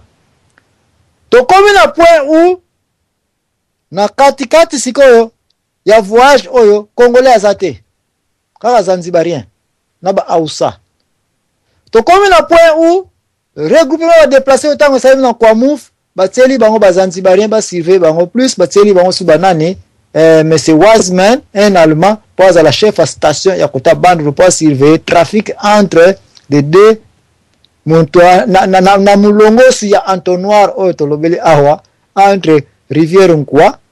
Kasai ekotaka na Bandundu parce que tous ces Kasaïens bana nyonso akati Ba wele nje kokita na rivière Kasai. Et rivière ya Kasai bakiti, ce n'est pas que na kati ya Kasai ya lelo na date ya lelo. Non, c'est l'actuel Bandundu. Donc les gens de Bandundu encore une fois tembete kota na yo tango za kokota emission za ja kofongwana mpoko za ja kotambolaka. Bata Bandundu Je viens de le confirmer encore ndenge kaka na confirmaki ya Bessingombe que les gens de Bandundu ce sont des Nkwa, c'est vrai, mais en realite ce sont des Kasaï qui sont venus sur la Lukeni, bayeli pe na nzela ya Ilebo sur Kasaï, bawuti pe na Kasaï, batsholaki, baye kosuka likolo ya ba guerre oyo ezali koleka na kati pona ba minerais oyo na ba caoutchouc, na ba recherches ya ndenge na ndenge oyo ezalaki koleka. Donc ici. tokomi na point ya toyokana ete quand toza koyaka na badiscussion a bino bato ya bandundu yo nani a ngai moluba awa tozokangisa sikoyo la fois pasi nakangisaki bakongo besingombe contre baluba nasakaki besingombe oyo bakomi komonaka ke a moluba ndeko na ngai te Na kolaki bango ke yo muluba oza musingombe yo musingombe oza muluba lelo oyo tomati toza kaka konana toza kaka kolanda riviere du congo tokomi na nkuamutse nkuamutse awa toye komona ete bato ya bandundu bango kutu baza na central ya somo kutu ya kosakana te parce que na kota kati bakangi ba riviere nyonso eyaka na nkuamutse ye bandundu Riviere du Congo eyaka na Kwamouth na kati kati. Mundele oyo a confirmer batu oyo tout bayaki kosangamelaka wapi na Kwamouth. Alors comment yo mutu ya Bandundu lelo oyo okende koloba ete un Kasayen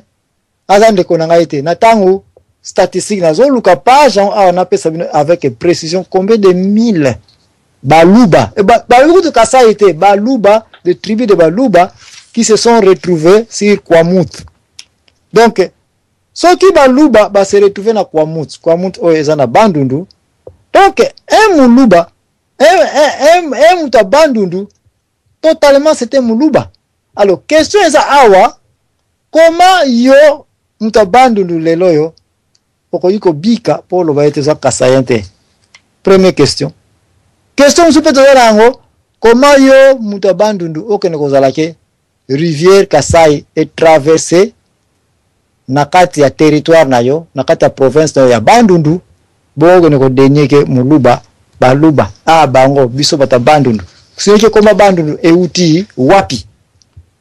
Nde ba biloko oyo yango nakumbaki bino na pokwa lelo oyo na section na ngai ya liboso oyo na proposaki bino toyeba ete ba discussion nyonso eza koyaka na yango na Congo eza na ntina moko te me wana bato ya bandundu sikoyo tozongela bato ya kasai bato ya kasai bosili koyoka awa mundele oyo afundi cope na bino que en réalité vous n'êtes même pas des congolais et que bato ya kasai ce sont des Zanzibaris, ce sont des Hausa, baza bato ya nani ya entre bato ya tipo tipo akotisaki avec cooperation na bato ya sultani kuna na est ya Congo nde peut-être yango wana sikoyo naza nanga kozoloba peut-être pourquoi nous avons aussi maintenant na kati ya Congo précisément na Kasai bato baza na loposo ya pembe mpenza makasi donc un vrai Congolais en réalité ne pouvait pas être teint ya clair ya makasi neti yaka emuluba Un vrai congolais akokaki kozala na source moko te akende komona na loposo ya bino ka boyebi banani yango toyebi na kasai bazalaka na tin mpenza ya makasi me babota mpe na bamindele te me bazalaka bacongolais tin wana euta wapi lelo c'est clair ke bato wana ce sont des gens de sultani remplace bato wana ndenge kati oza komonaka barwandais ah, batuchi bakoti na montagne na biso kuna ya, ya, ya, ya, ya ruenzori Oh bakoti na ba montant na biso boye na boye. Donc ba mbula eza koya. Finalement mboka oyo ekokoma ka ba tutshi na ba tutshi. Kivu nionso ekoba ba tutshi na ba tutshi. Maintenant je vous confirme que selon preuve à l'appui ba documents eza ba ndeko robo komela ngai bokota. Les baluba ne sont pas pas en général mais d'une manière un peu trop acceleree peut etre pourcentage ya makasi les frères de baluba beaucoup plus ce sont des etrangers au congo baza bato ya ba arabe ba esclave bazwa bango na pezi na kota ba kenya kote ya baocéan kuna ya kota indien bayaya na bango bavanda na baarabe mpe babota na banoir bavanda donc voilà pourquoi nous avons un mélange ya bato bavandi mais na suka ba masolo oyo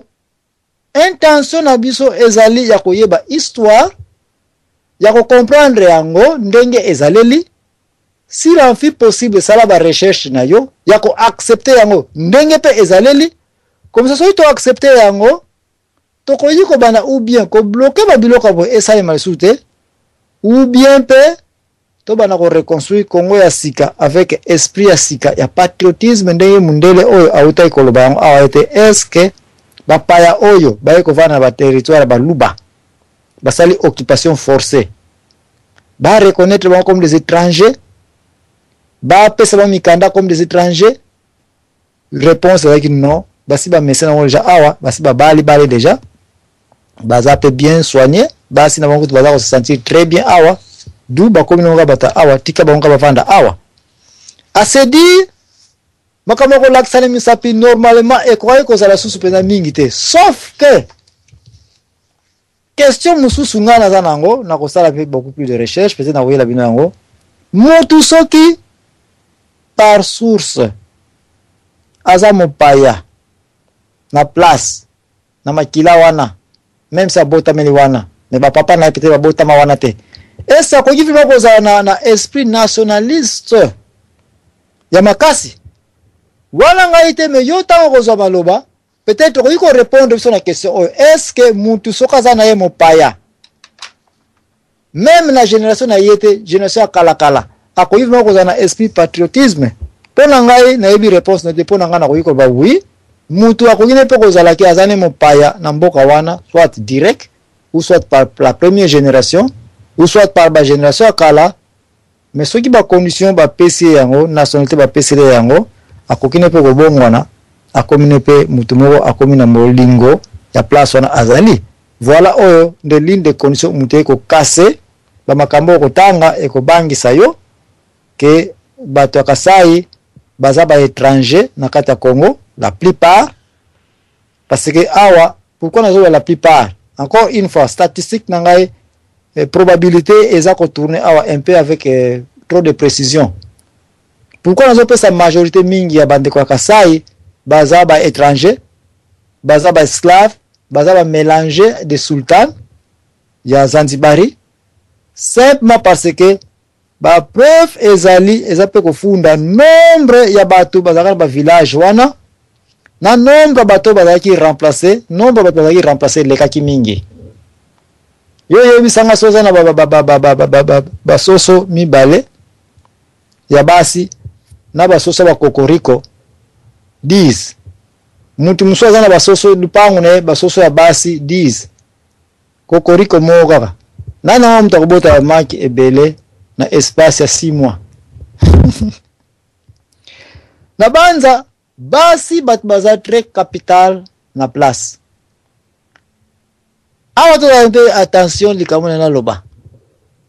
basi bato baza utile na generation ya bato parce que bango tozali bansusu kongo bango tobotaka maki bisoso Oui soso ya mibali de soso ya basi lupangu mususu di soso pe kaka oui soso ya basi de soso ya mibali lupangu nini ekotonda na basoso lupangu oyo bamama kongo bansusu kongo eleki mingi Mbuta lieutenant Towns alobi yango très bien, lettre oyo eza na danger, ba américains bazwaka batindaka expedition. Ba américains so batindi bato na Kinsweki, keba baza na intelligence tango biloko babotama na yango, balobi bien, ya eu trop de femmes esclave baye kotia na Stanley Fall na Boyoma na kote nyonso wana ya Sankuru na katikati ya Congo et ces femmes là bapesaki bango ba conditions kitoko de façon ba se sentir à l'aise na bisika wana ba remplaçaki bango elingi koloba ete mibali bakoki kobota na bango parce que balobi yango mpe awa sauf Condition moko ezalaki difficile pona basi wana droit na bango ya kosala bango eloko nyonso olingi kosala bango ou meme koboma bango pe lettre oyo encore une fois eza kofunda ba verite moko mwana Congo olingi koyeba yango basi batiaki bango na ba condition ya kitoko po babotana ya trop malheureusement bazalaki pe na ba condition moko difficile kaka na kote etali bakoki ko utiliser bango comme bakoki ko utiliser bango donc on pouvait le faire naitre des enfants comme on voulait alors soki place nsusu congo baza mingi par rapport ya nsusu koko bana mpe bakobotama ya trop c'est ce qui fait que déplacement ya bale vrai bana ya kasai baye ko se retrouver tout autour ya kotyola kotyola kotyola bamai bakimi kimi na kota kati bakomi na baequateur equateur baye kosuka na kwamuth mulongosi bayeli ya nzela ya lukeni Santa Nkuru, bayeli na kati kati ya Kasaï baye kosuka na Kwamouth. Bato oyo ba regroupaki bango wana ba blokaki bango wana, batiki centre ya kati na ba Zanzibari, bastiki centre ya kati na ba Sultani, batiki centre ya kati na ba, na ba Hausa.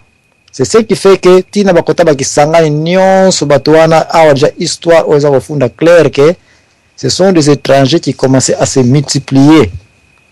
Eza likambo ya mpasi na epoque wana Mais na, na, na likambo lelo yo eza leçon à apprendre que même si yo muluba koya un peu na presse te parce que ah balobi ko baluba koloba ete bino kuna bana ya, ya, ya libanda bangole bino kuna boza banilotique bino kuna boza boye na boye me yo mpe moluba sikoyo oyokani kozana mosusu zanzibari oza esclave barabe yango wana oza na teint claire mais eza kofingana te mais eza sikoyo tobanda kosala draw the line donc tobanda kotrace baline na biso ya vie ya sika na congo kie makambo oyo mfumu kimbangu alobaki ete bokoma livre ya sika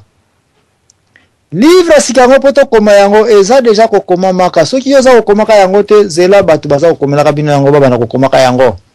tokomi na point ou tobanda koyebana bavaleur toyeba towuta wapi Toyeba place oyo tozali, tozali wana mpo na nini? Yo Musingombe oyebi lelo ete oza wana parce que okimaki bitumba ya kati. Yo mwana ya Bandundu oyebi ete ozali na Bandundu wana parce que okimaki. Puisque ba ville mosusu oyo baza kolobela awa, il n'y a même pas 500 personnes. Mbandaka, ba ville mosusu otangi awa, ba Boyoma, il n'y avait même pas plus de 1000 personnes. Ezalaka ba, ba, ba, ba ndako pe bapesi ba, ba, ba description. Ba ndako mosusu ezalaka ba bambou ya ba gite, c'était facile à brûler. Ba ndako mosusu bapesi awa ba conditions yango ba, ba, ba décrire yango. Ils étaient à l'aise, il n'y avait pas la pauvreté. Malheureusement, s'il y a eu la pauvreté, na page ya suka balobi yango d'après Mundele oyo. S'il y a eu la pauvreté, alors cette pauvreté était provoquée par des étrangers. Banani? Ba Belges ba nani ba français na ba portugais mais na bango na bango peut-être soki na, na, na zui temps nakoki kotangela bino meme na anglais mpo boyeba exactement comment mundele oyo atielaki yango avec soin te bato oyo ils étaient trop riches bakutaki bango na ba minerais bakutaki na, na, na ba ivoire bakutaki na bango na ba, ba fer ils savaient déjà battre les fer bakutaki na bango na ba, ba, d'ailleurs kutu bassin ya, ya na bango ya ba rivière na bango eza trop riche en agriculture trop riche na ba na, non ba makambo à décrire awa babakisi même ete je ne crois pas que Congo tokokoka ko exploiter yango to mokili ekotikala kokoka ko exploiter Congo na ba makambo oyo ngai lieutenant Lutent naye komona awa na mboka oyo ya Congo. Ils sont severement riches, ils ont tout sauf rien. Sauf quand on les provoque des problèmes, na tango ba déplacer bango, na tango ba bomi bango, c'est là que j'ai vu maintenant la misère. Mais ngai na misu na ngai selon mundele oyo, I have seen no misery. Alobi yango très bien, namoni misère moko na mboka oyo te sauf par deplacement ya batu. Donc awa nde biloko oyo nabanza to comprendre ke bandeko biso nionso ndenge toza na Congo ba deplacement ezalaki provoque ba deplacement oyo ezalaki provoque pas sur base parce que tolingi yango mais eyelaki biso likolo ya exploitation ya ba minerais pas parce que biso na biso tozali kobunda non mais c'est parce que bato bakomaki koluka bazwa oyo ya biso epuis ba remplace biso na bato bakokopere puisque un étranger azalaka na respect ya maître na ye bazanzibari bazalaki na, na, na, na, na respect epa baarabe Bato ya tipo tipo bazali na respect na tipo tipo. Esikoyo yo nkolo mabele soki baye eke longwa awa pasi balingi bazwa ba ivoire, balingi bakata ba nzete, balingi bazwa ba caoutchouc, balingi bazwa oyo nyonso balingi kosala. Soki o resister babomi yo. Nde biloko oyo yango kaka ezoleka ti na philosophie ya politique ya Kabila avec les kabilistes na date ya lelo oyo. Ba nani bakopesa ba pouvoir? Ce sont des Zanzibaris, ce sont des Arabes, Ce sont des etrangers wana nde boza komonaka partout okenda ba bureau nyonso bato wana baza koloba ba langue toza ko comprendre te ba generaux nyonso baza kotindaka biso il faut mettre des etrangers bato bazali ke eh, bolingo ya mboka ekozalaka na yango te donc ba biloko oyo peut-être ba livre oyo ba document oyo biso so toza koya koyebaka yango na 2014 bato babombameli biso baleki biso na mayele Peut etre basi bayebi dejà ete pourquoi ba section oyo ezalaka organise boye mais na banza naza na mbuta na nga awa papa mawabi nayebi te papa mawabi yo mpe osengaka toujours maloba soki oza na likambo oyo olingi kobakisa awa sur babiloko oyo soki mpe yo oyebaka yango tu peux toujours nous dire mpe oza na question na makambo elekaka na ville nini je peux te dire dans toutes les villes ti na niangwe nakoki koyebisa ni makambo nini elekaki me ngai naza koinvite bacongolais intellectuel Ba wela document oyo batanga. Papa Mawabi est ce que oza ko oza près kuna po o intervenir? Non, naza na près te. Nazo timba naza près te. Merci. Donc eh, ezali nde bongo na banza sauf par demande na bino soki papa mayamba akoki kotiela biso musique atieli biso musique soki papa mayamba akotiela biso musique te nde tokoki kokende na sujet ya dernier commentaire ya ba information ya suka oyo peut-être tozwi concernant ba sujet na bino bolingaka ya ba emeneya na sujet ya section ya lobi oyo totiraki conclusion te concernant liwa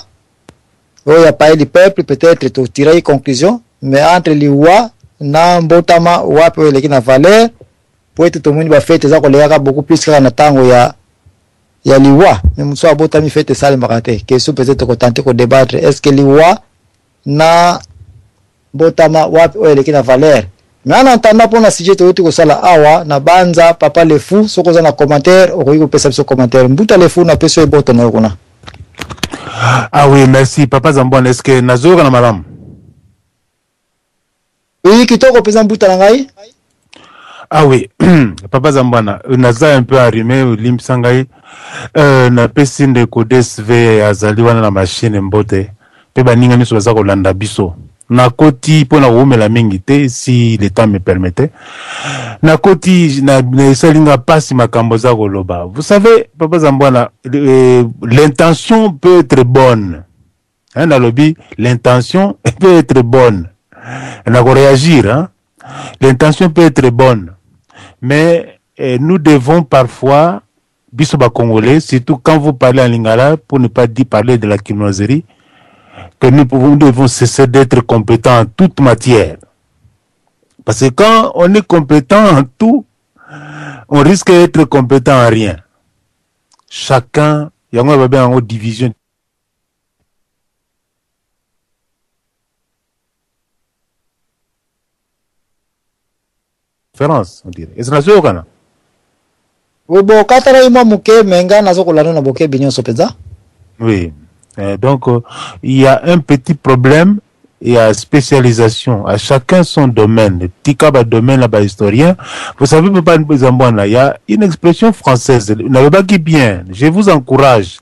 na ba intentions oza nango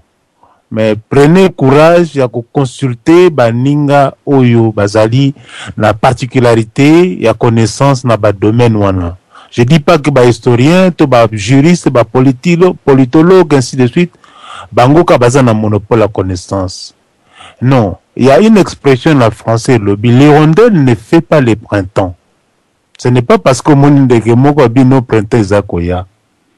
ou encore eh, la lecture ne fait pas de quelqu'un, du, lecteur, un chercheur. Naturellement, tout, chercheur peut être lecteur dans un domaine précis. Si tel était le cas, donc, nous tenions ce cause à la chercheur, mais tel n'est pas le cas. La recherche est rigoureuse. La recherche implique des methodes, des approches et des visées, et des outils de travail. Lelo, nakotanga livre ya physique. Je ne peux pas dire que nako concurrent mi concurrencer na yo. Moto tangi physique, to na électronique, Hein, papa Zambwana, nous devons le reconnaître. okoki kotanga texte okoloba te okomi du juriste parce que ozotanga yango ndenge e nayokaka mawa mingi ntango baninga mosusu batangaka oyo na constitution balobi boye na boye aza kopesa mpe explication na ndenge na ye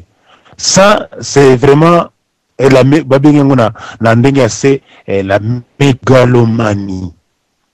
Hein, donc un peu de modestie et à certains moments voilà. Alors euh, là je pouvais sikoyo mpo na enrichir débat oyo oza nango omemeli biso na mpoka lelo na l'intention na reste na- naza ko insiste bien l'intention intention ezali malamu mpo na kolakisaka ete tozali bana mo- moka tozali motu moko mais cela ne suffit pas papa mzambwana parce que nous sommes un dans la diversité ça il faut d'abord reconnaître la réalité un Moukongo est congolais mais il est différent en quelque sorte de quelqu'un de Bandundu ou du Kasai. Il est vrai que nous venons d'une même source. C'est vrai, même libota moko, bokobota libota moko, mais vous avez des particularités, bamsu baza milai, bamsu baza mikuse. C'est pas pour rien, ce n'est pas pour autant que boza bana mon côté pour mon côté. Et là, je vais directement en ligne. Nabi, Comme mundele wana akomi na 18e 19e siècle. Hein? Akomi na 19e siècle. Donc, ah, no, 18e siècle. Non, 1880 wana tozo komi déjà 19e siècle. Na histoire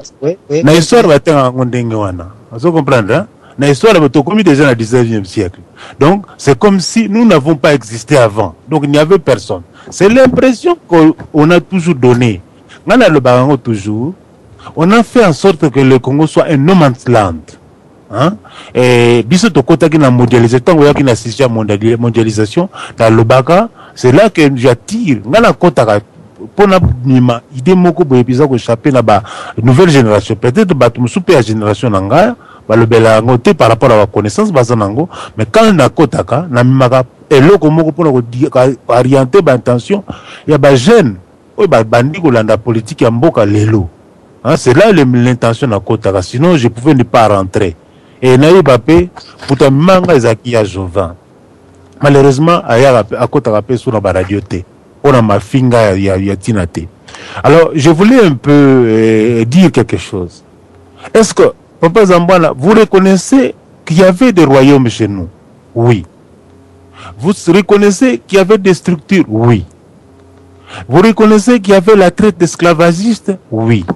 Et là, je vais vous corriger parce que nalingi pardon na soki nalobi na corriger nakomi pe ambitieux parce que nayebi pe te. Eh, ntango otangi na Boyoma omoni Kisangani, otangi na Kisangani kuna, c'est vrai lelo soki okei il y avait trop d'arabisés là-bas et jusqu'aujourd'hui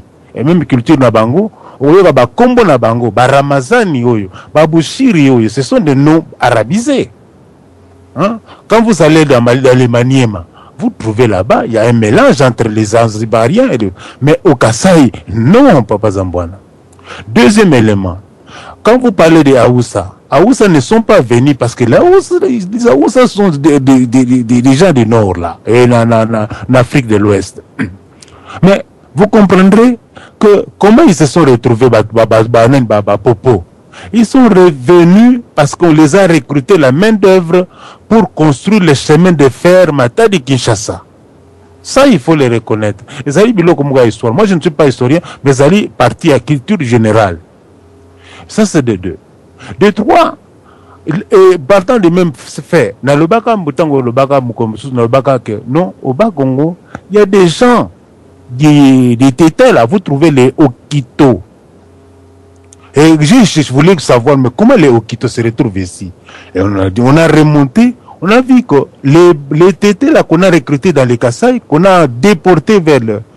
euh, Boma pour venir construire les chemins de fer, où les femmes, Congo, et ils ont eu des enfants et ils ont donné des noms tétés là. Vous comprenez Donc quand vous allez chez les Bakongo Boma, vous trouvez les Okito, les Uchudi.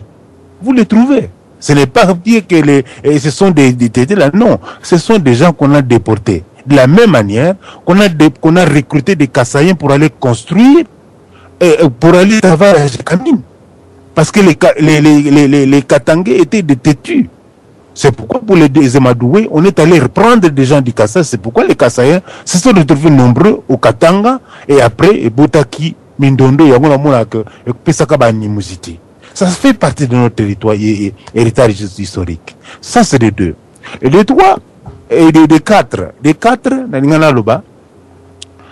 dans les Bandundu, les Bandundu est, plus, est parmi les régions les plus vastes. Et lorsque vous remontez, il y a ce qu'on appelle l'ethnologie et l'ethnographie. Hein? vous remarquerez que ce sont des peuples différents. Vous avez les gens du Kwilu, vous avez les gens de, euh, la Congo, vous avez les gens de Maindombe. Et quand vous, vous les entendez parler, ils, ne se comprennent pas parce que des langues différentes et des origines différentes. Mais alors la catégorisation mondele, à par exemple, les Yansi, les Hans qui sont, qui, d'après catégorisation Bango, ils ont des cousins, les Fangs au Gabon et qui remontent au Cameroun. C'est pourquoi ils ont les noms de Mangwan, Ongol, Okim, Onger, Ombal, Biloko Donc le nom euh, une langue sans euh, voyelle. Hein, vous comprenez pas, pas voyelle, mais sans... Euh, comment on appelait ça J'ai oublié l'expression. Hein, par rapport à d'autres langues où vous trouvez toutes les lettres dedans. Et vous trouvez dans d'autres langues, il n'y avait pas de R. Hein, le R, mais quand vous allez un pur qui parle, des, des, pur parle, vous trouvez des R. Et de la même manière, quand vous entendez parler les, man, euh, les, quand ils parlent, ou les Fang, au Gabon, et vers le, vers le nord du Gabon, c'est la même langue. Hein, nous venons tous des mêmes coins. Et quand nous parlons du Congo, les Kassaïens, ils ont pas de Kassaïens parce qu'on a, on a créé les Kassaïs, mais les Balouba ne sont pas des Zanzibariens. Je n'exclus pas qu'il y ait des Zanzibariens qui se sont mariés avec les Balouba, mais ils, ne sont pas l'union, ce, sont des choses différentes. Et les Balouba sont autochtones parce qu'il y a eu des royaumes. On a déporté des gens, on a vendu des esclaves. Comme partout, on a recruté des esclaves qu'on a vendus mais par tout le monde qui est parti.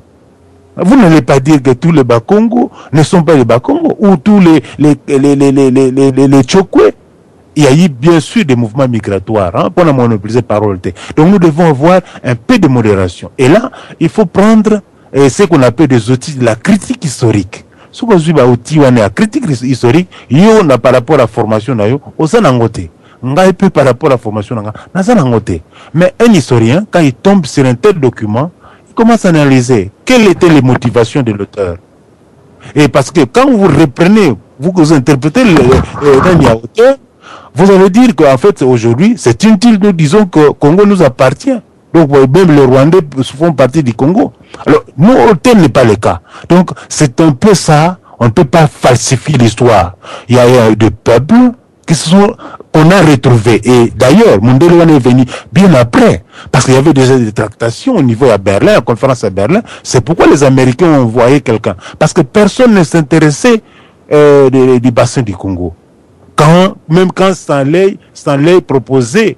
euh, insistait à ce que pôle II soutienne son expédition. Personne ne voulait prendre ces risques-là. Mais tant qu'on a mis donner données techniques, économiques, à ah, c'est intéressant. Et à ce moment-là,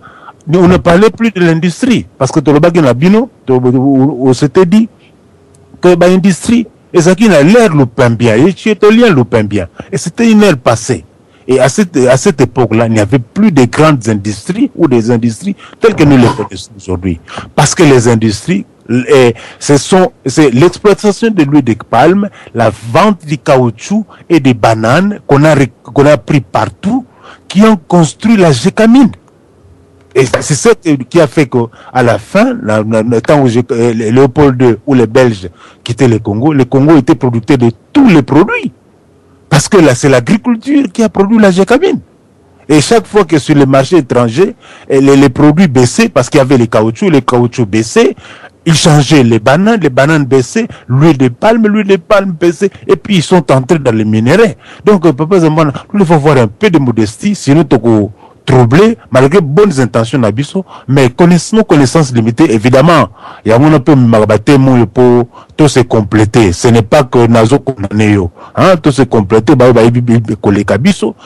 bah,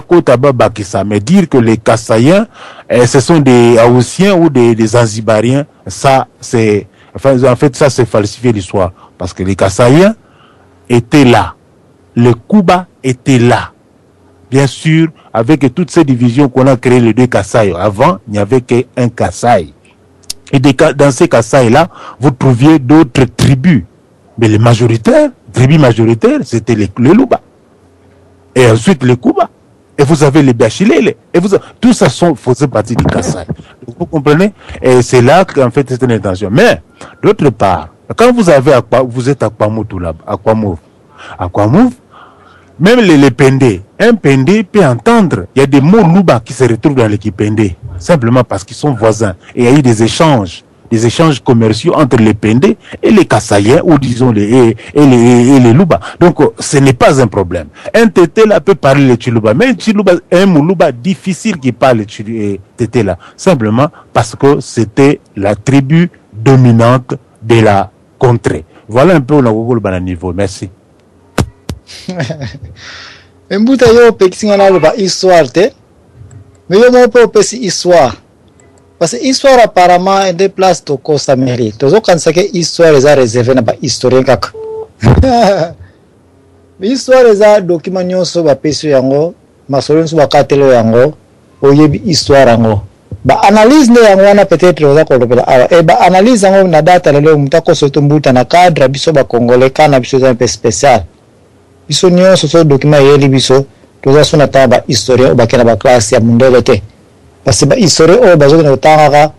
ba histoire oyo ba mindele bakomaki pendant ye ngai oyo nazotanga histoire oyo ba mindele bakomaki te mais nazotanga lettre oyo lieutenant apesaki rapport na Washington na voyage na salaki eza ndika yo so okende na Congo lelo okangi ba bilulu na yo ba film na yo otiango na YouTube biso nyonso toko analyser bilili wana yo otie et puis moto ya makambo ya kolukaka historien aza te yo oyebisaka makambo emene ngai nalukana historien ya koyebisa nga ce que je vois je vais aussi passer mes analyses Donc awa wana aza ko passer ba analyses sur base da realite ya lettre oyo date par date, jour par jour mundele oyo a voyageaki na ba ville nionso. Mbuta na ngai kobosana te titre ezalaki Kwamouth entonnoir na biso. Okende gauche ozonga droite Tozolona ba mayi oyo ndenge bato bazali kotshola tshola ba mayi na tango saga ya desordre bitumba ezalaki na kati ya centre ya Congo bato na tango bitumba baza na temps ya kotoka te apasolaka mayi ananaka parce que meme kutu oza na bateau na yebisa bino na emission moko nasalaki navire nionso e opposaka aval kote mayi etsholaka po resi kopasola yango Vitesse ya bateau na yo to bwato na yo il faut ezala superieur par rapport ya vitesse ya courant ya mayi. Or courant ya mayi na ba fleuves na biso eza tellement makasi ke mutu soki aza na, na, na Kwamouth po akende na Equateur ako toka. Mais mutu aza na Equateur po aya na Kwamouth seconde akomaki na ye. Na tango bato bakimaka bitumba balukaka premier place ya kokimela dernier bitumba eleki na kivu kuna oyoki bato voilà bakimi ba village na bango ata kaka mwa mwana abaye ko menace voilà bakimi parce bayebi ke awa tobebi mbuta histoire oyo toza kokole yango avec bato oyo bayaka kotumba ba village ya bato ko remplacer kokomisa mboka na bango mundele oyo a confirme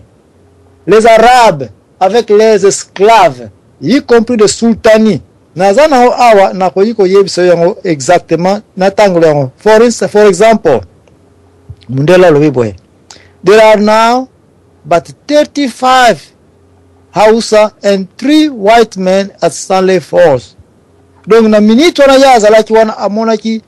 30 awusa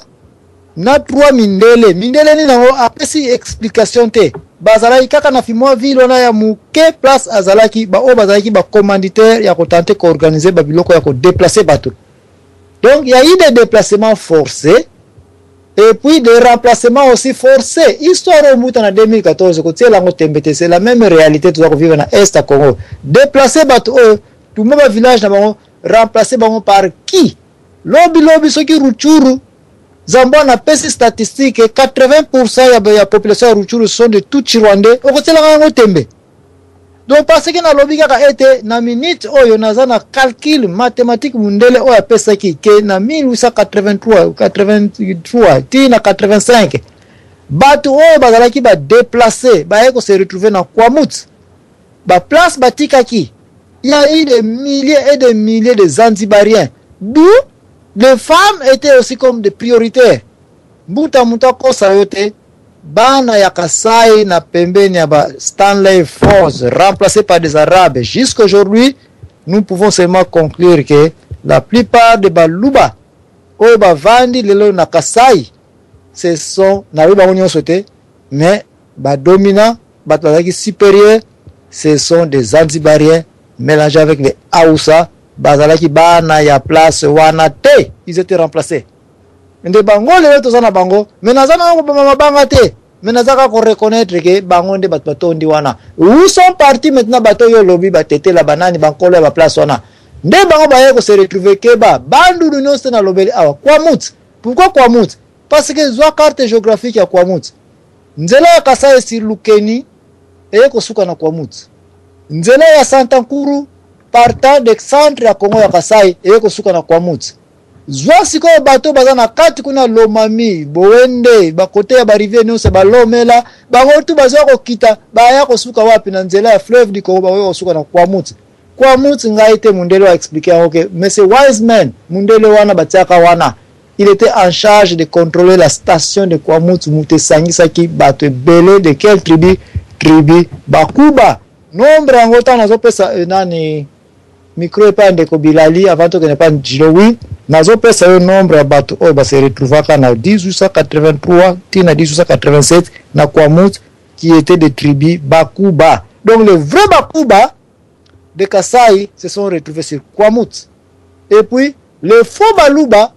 oyo batikalaki na kati ya Katanga, Kasaï kuna, ce sont des Zanzibariens, batu oyo ba obeissaki na ba esclaves achetés par Tipo Tipo et par euh, ce type ici, Sultan. Donc nous avons été remplacés. Les vrais baluba se sont deplaces et les pays qui sont restés soit bakangela bango kuna bazala ba esclaves sous to ba ba utiliser bango to ba violer bango to ba boma bango et les pays les pays de nombre là nde bango wana peut-être baza mélanger mais les, la, la plupart pourcentage ya makasi peut-être trois quarts ya population ya Kasaï ce sont des gens qui sont venus d'ailleurs et puis le vrai Kasaïen Nde bango bazali ko se trouver na Kwamouth, ba mosusu nde nalobaki na bino, biso Bosingombe? Shishishishishii Ndeko Bilali Bill à vous l'antenne. Merci mingi papa euh, Zambwana. Na moni nayoki intervention ndeko oyo autaki euh, ko intervenir avant nga nayebi kombo na ye te nayebi te soki okorapelenga kombo na ye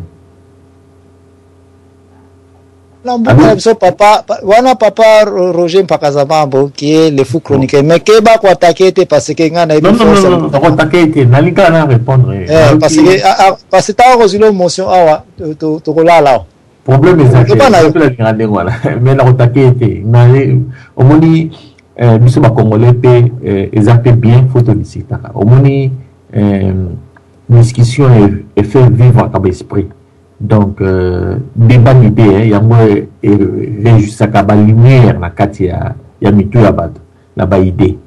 donc faut tolaka mpe na ba projet ya société omoni nalingi nabakisa boye omoni histoire bachangaka yango te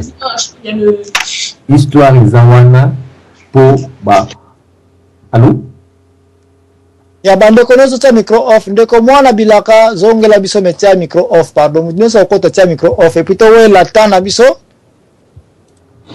ok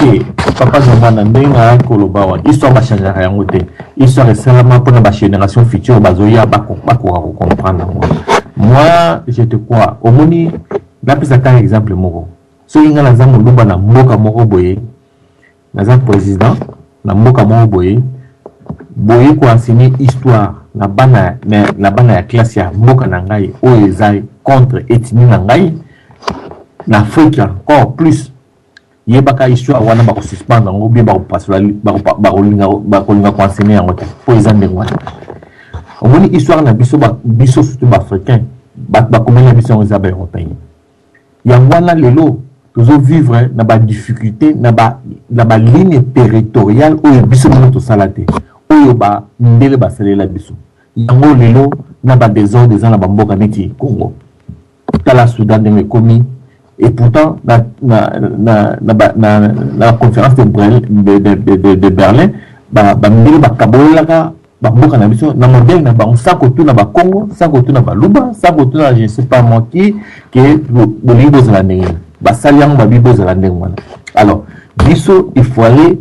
to mikomisa ndenge bango na volonté na bango donc congolais azalaka ndeko ya moluba ndeko ya moto ya bandundu voilà et puis euh, dieu merci euh, tovivraki bien ti lelo tovivaka bien malgré basituation oyo ekomeli biso na rwanda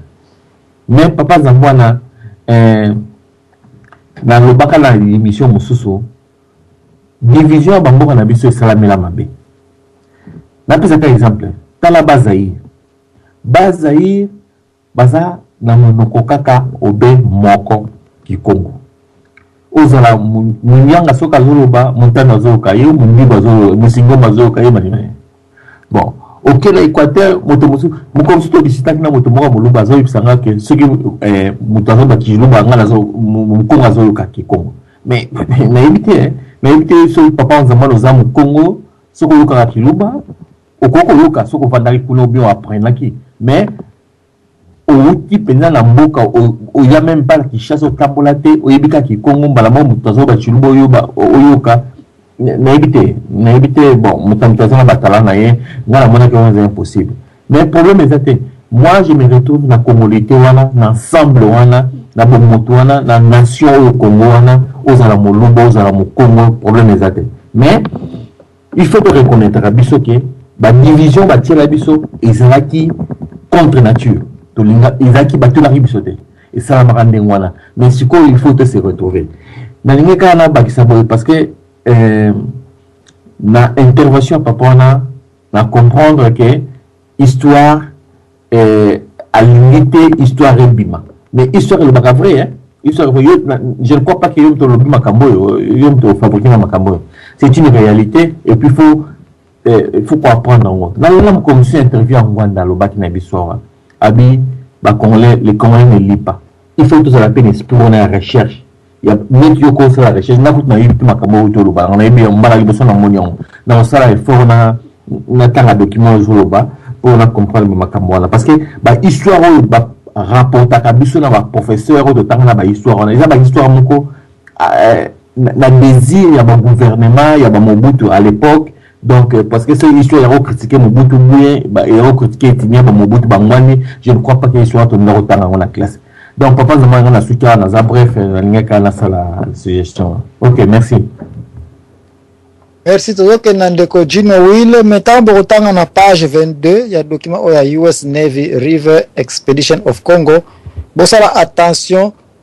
Ya combien de batu 250 personnes na jour bateau wana ya tata oyo eza ko tenter ko kende na cote ya bateau wana nako pesa bino ba kombo Stanley eh, steamer oyo ya bateau ya voile pe bateau ya vapeur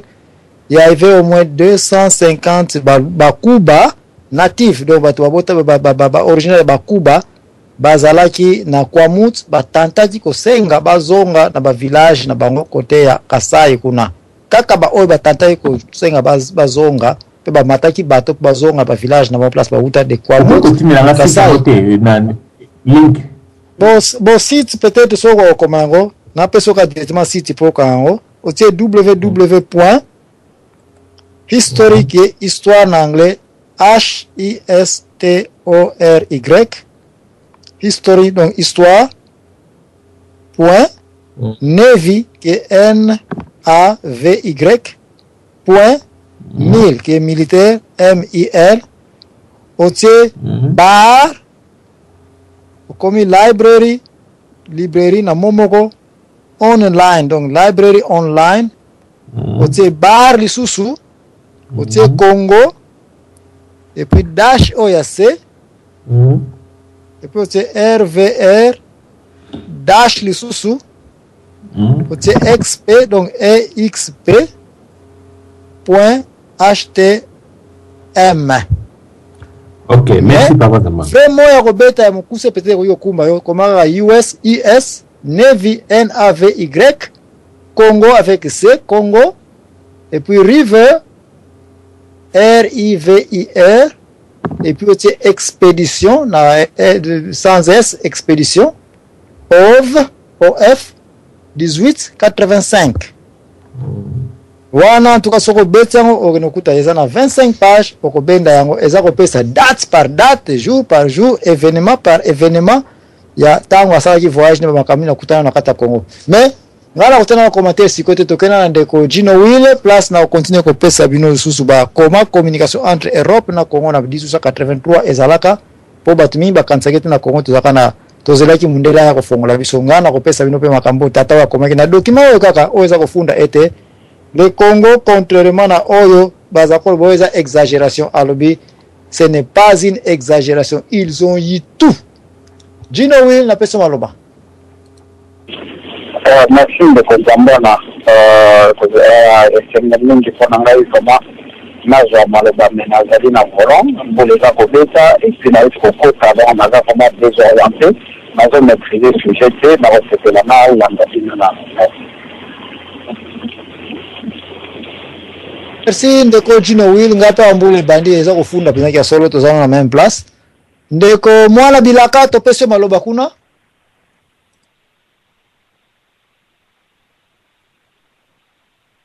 Ndeko mwana ya bilaka soki okozwa maloba te wana nakopesa motion na ngai epa mbuta lefusion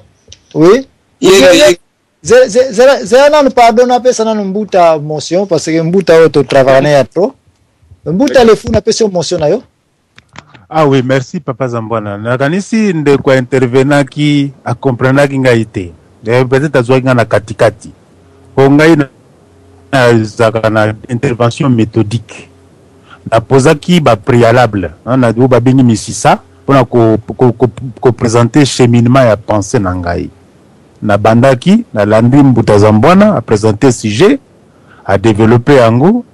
Nga nalobaki likambo ya liboso nalobi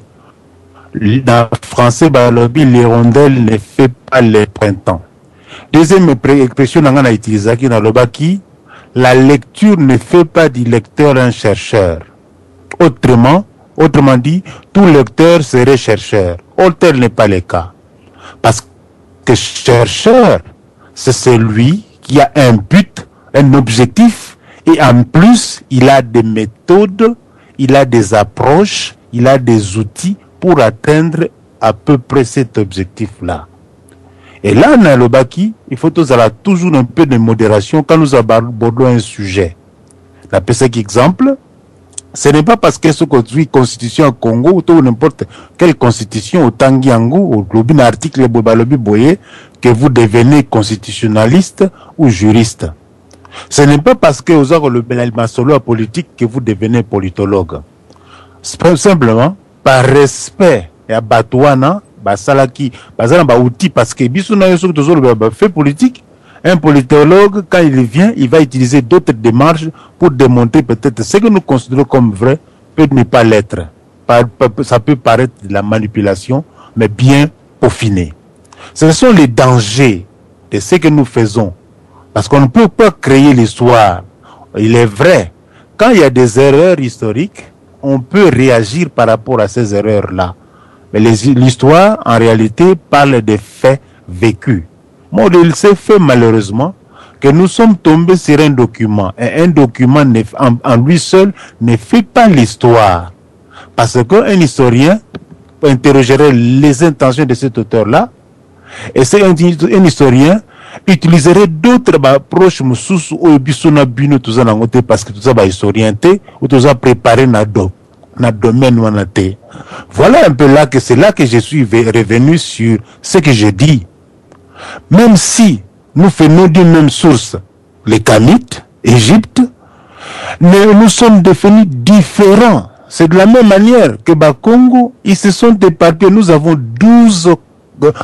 grand clan oyo babengi 12 sous royaume du royaume congo pour nous les congo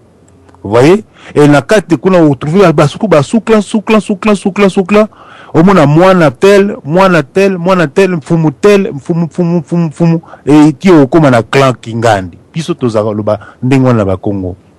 ce qui est différent na baprovince mosusu to na baethnie mosusu Ça, nous devons reconnaître cette particularité-là.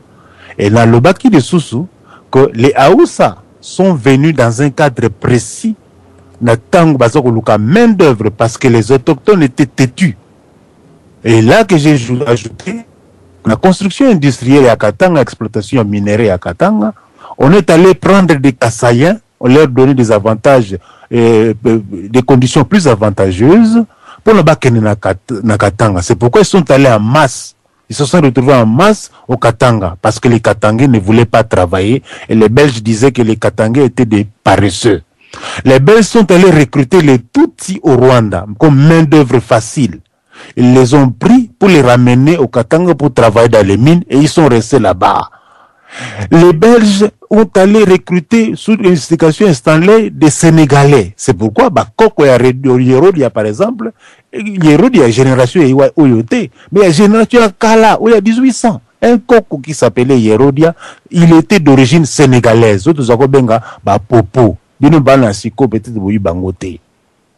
Alors donc, pour dire que ce n'est pas non plus à exclure qu'il y ait des interférences ou des liens ou des liens de mariage. Mais j'ai précisé que quand vous prenez la cartographie, même les religieuses, au Monaco, euh, presque côté à Est, il y a Congo, et ils allaient presque musulmanes. Et ils sont restés avec des traditions musulmanes. Par exemple, au Sokola, Sokola Mukongonaye Si vous comprenez. Et là, ce sont les Arabes, on, on, parlait plus des Arabisés. Et vous trouvez ce mélange était plus accentué dans ce que nous appelons aujourd'hui Maniema. Sauf qu'il y a Kindo, okokuta ba, ba tradition wana ezali fondamentale c'est pourquoi que vous, quand vous allez là-bas vous trouvez les mêmes noms arabes mais on prononce ça na ndenge ya kiko- ya ya ya ki- ya kikongoli ya to ya, ya kiswahili alors que ce sont des noms ra- par exemple, basultani wana hein? ba sultani nyoso tu wana ezali sultan omoni eza ba mot moko arabe ba memi yango yango ba benga bango ba arabise et là vous les trouvez en particulier na nora kisangani et, et vous, vous les retrouvez dans les maniema et, et un peu partout na partie ya kivu et là que je dis vous, vous citerez de nom bomona ba ramazani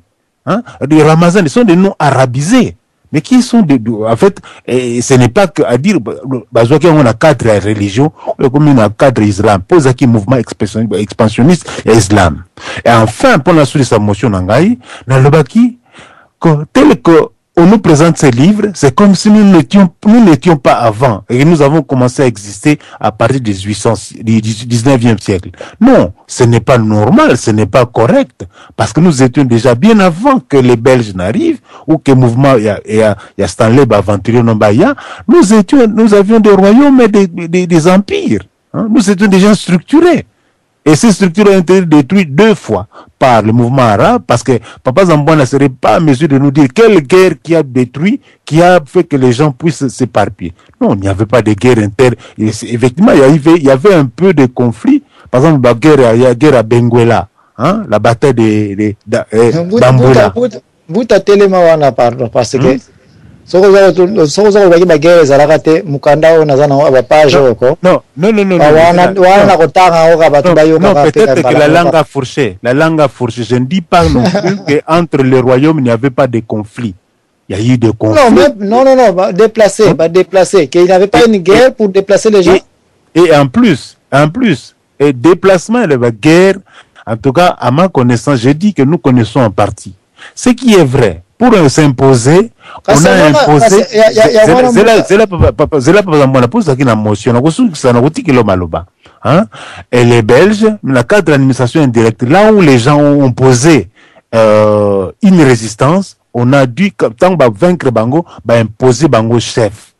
hein, on a mis des faux chefs sur la place des vrais chefs qui ont opposé la résistance. On a vu ça chez les Bouza, par exemple. C'est pourquoi vous remarquerez que toute la politique coloniale pensait que pour avoir des militaires, il faut les recruter dans les Hauts-Congo. Parce que c'est là qu'on a opposé beaucoup plus de résistance par rapport à, ailleurs. Vous remarquerez, c'est pourquoi la plupart des militaires, il y a force publique, bah, papa Nabiso, maman, papa Nabiso, Zaki, eh, papa Nanga, Yazaka, euh, force publique. par hasard nakotaki kuna parce que la majorité ezalaki oyo baza kobenga bangala buta buta bolimbisi telema nano parce que eloko oyo ebimisi awa nakoprefere ngai moko ntango nazopesa mwana bilaka natanga yango komsa okozwa ntango na yo ya trop okoma te lettre officielle oyo lieutenant akomaki parce que yo oza koloba bahistoire peut-être oyokaki me ngai nakopesa yo date par date na section oyo bakomi les arabes Awa tozoloba nini? Na 1883 tata oyo akopesa biso exactement ba details qu'est-ce qui s'est passe parce que document ebiba ba release yango ka mikolo eh. ce n'est pas que ba tata ba koma ba histoire na Congo bazalaki nango rien ebimi ka mikolo na kopesa même na jour librairie ya US Navy babimisi information oyo babomaka comme secret donc eh, na comprendre mbuta Mais document oyo eko casser makambo nyonso oza koloba wana. Donc zalaka na biso kaka na kati, tokende na ndeko mwana bilaka et puis ntango nakotanga section oyo si bien ke na bana kotanga yango na anglais mpo napesa yango su na français ekopesa biso mwa mwa baretard ya mike mais congolais oza na besoin ya oyoka yango surtout bamama oyo bayebi ke bakotika kozwa ntango ya kobenda document oyo te mwana bilaka topesi yo maloba yenge yenge yenge matondo Yambo eh, matondo na mpokosana liloba na ngai abakisa kaka makambo ya moke na likambo eza na makambo mingi na, na oyo etali ya biso masolo ya mboka histoire tout ça oyo ezali sujet yambo na, na, na kende vite fait na profondeur ya histoire eza kaka que non mingi naokaka balobaka ete bakoko na biso bakoma te bakoma makambo te batika baekri ba, ba, ba te nulle part or que c'est faux biso tokanisaka bakoko na biso bakoma te mais parce que soki to, soki toyebi kotanga ba écriture alchimique donc ba écriture ya ya, ya molimo parce que écriture ya molimo eza universel univers donc soki tokomi koyeba kososola kotanga ba écriture wana tokomona ete na ba masque na bikeko oyo bakulu oyo bato basalaka bakoko basalaka ti lelo na ba bikeko wana so totali to, to, bien tokomona que ce sont des écritures mais lelo mpo mutu abenga écriture écriture faut kaka amona yango na sens moko gréco-romaine oyo ke biso nous tous on se réfère aujourd'hui et gréco-romaine or que on dit bien que soki so, toke kovérifie na histoire ya écriture on nous dit bien que non ce n'était que des hiéroglyphes des signes tout cela alors déjà na babikeko wana so totali malamu tokomona que non aujourd'hui biso mundele il nous parle de l'astrologie de l'astrologie la, de, la, de, de, de, de cosmos tout cela de l'as de, de ba astre tout ça ba or que soki tokei na babikeko wana tokomona que non il y a déjà des signes astrologiques donc il y a déjà des signes astrologiques il y a des rapports il y a des histoires et c'est komama déjà mais esiko fana na molimo mpo otanga yango wana ki juste un bref détail mais na likambo etali histoire Esalaka nga pasi mingi que biso ba ndombe histoire tout totatolaka na munoko na biso eza reference ya mundele oyo akomela biso. Ezali rare oyoka moyindo ndombe à part un initie, je dis bien à part un initie. Mais soki mutu aza nanu initie na kambo ya mpeve te, manso oyo ye ayebi, manso oyo ye akoloba ezali oyo ba relater na livre epai ya mundele. Voir meme que lelo na musee ya nini ya ya, na, na paris na la pyramide wana louvre baza kotiela yo na, na, na bureau moko bakomi spécialiste de la race noire africaine et nous on laisse biso ntango tolobaka les 12 tribus de, de congo wana parce que lelo bato baza kolimite congo selon un pays comme mundela biki non congo c'est la rdc allez bato bazwi enga naza moto ya rdc donc on fait de la politique gréco-romaine on suit les gens on n'a pas de spiritualité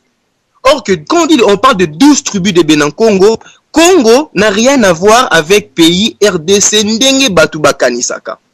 Les 12 tribus wana, pa na biso mongala azalaka te. Muluba toyebi yango te. Biloko wana tout eza ba generation ba papa na biso bakoko na ah, kala wana tanga mobutu je sais pas quoi là. bayelaka biso makambo wana po ton tozo komona bautu bakola na kini wana ezalaki ba papa misusu eh yo kolinga mungala te eh, eh bangala boye na boye eh kolinga mutetela te kolinga boye na boye te ce sont ces gens là par rapport à leur conflit interne leur conflit interne à l'esco se mélanger mais pas na biso soki lelo toke na ba na ba, na ba tribu tout babenga ba tribu soit disant tokomona ete partout balobaka mwanda kongolo mwanza nkongolo partout batangaka mwanza nkongolo oke na kasai oke wapi mwanza nkongolo me sikoyo biso to tolobaka mwanza nkongolo tolobaka bankulu bamwela nkongo bawamba tulendu me yo mongala yo motetela il faut toyeba eloko moko le 12 tribu wana ezali ba 12 constellation plus 1 13 sikoyo 12 wana ezali horloge pendule donc chaque point ya 12 wana ezali tribu biso tozosala ntango sikoyo 12 wana na kati nango toza susu na 5 symétrie ya 5 na 2 donc, Congo, c'est plus que ce que nous croyons. Et puis, Afrique n'existe pas. Parce que les histoires des continents, ce sont des marins grecs qui ont déterminé, ça c'est l'Europe, ça c'est l'Asie, ça c'est l'Amérique, ça c'est l'Afrique, ça c'est le Moyen-Orient. Or que non, c'est faux. Et nous maintenant, on se réfère à tout cela, école. École, bon hein, na koko wa na koko wa bota mama na yo tata na yo akopesa biso mayele koleka école parce que l'école ekendaka ko abrutir biso ko aliéner biso en sorte que tolanda kaka oyo baza kolobela biso les continents n'existe pas mokili oyo eza oyo tokanisaka te oyo bayebisa mpe biso te congo eza rdc te eza pays te alors il est temps que quand on parle de ndombe il faut tolobela ndombe selon PV parce que ndombe azali moto ya mpeve ngai nza ya nkongo mwana bilaka na ndimaka na ngai mai manso te mundele alobaka na ye parce que leki jamais akoki kolakisa yaya mokili mundele azalaka na mokili oyo c'est quoi parce que tout ce que nous on se réfère parce que ça la nga pas si ba ba mbuta mingi histoire na biso oh non bangala moi j'aime pas attendre ça même les rwandais je ne suis pas contre le rwandais parce que c'est tout mutu azali mutu na mokili tout mutu azangaka mabe te mutu aza na bolingo eza oyo akangisaka il doit réunir la, la mokili il y a pas de muluba il y a pas de bangala il y a rien de cela pe lelo quand on parle du congo totiaka angola wapi totiaka angola wapi oyo ekoma angola lelo na ba betise mpona tokipaka congo braza te oyo na ba betise congo braza meme pas congo makoko mais congo braza alors ba, euh, gabon cameroun tout ça mais bapapa na biso bayebi bien likambo wana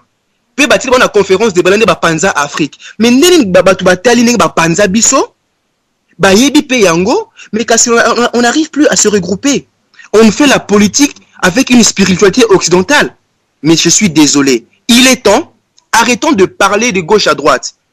Bisso, RDC n'existe pas. Les pays n'existent pas chez nous. La République, surtout la République. Ce n'est pas nos mœurs, la République. Et quand on parle de royaume, royaume, on n'a plus besoin de dire euh, royaume Congo. Car Congo, c'est déjà ça, la, royauté.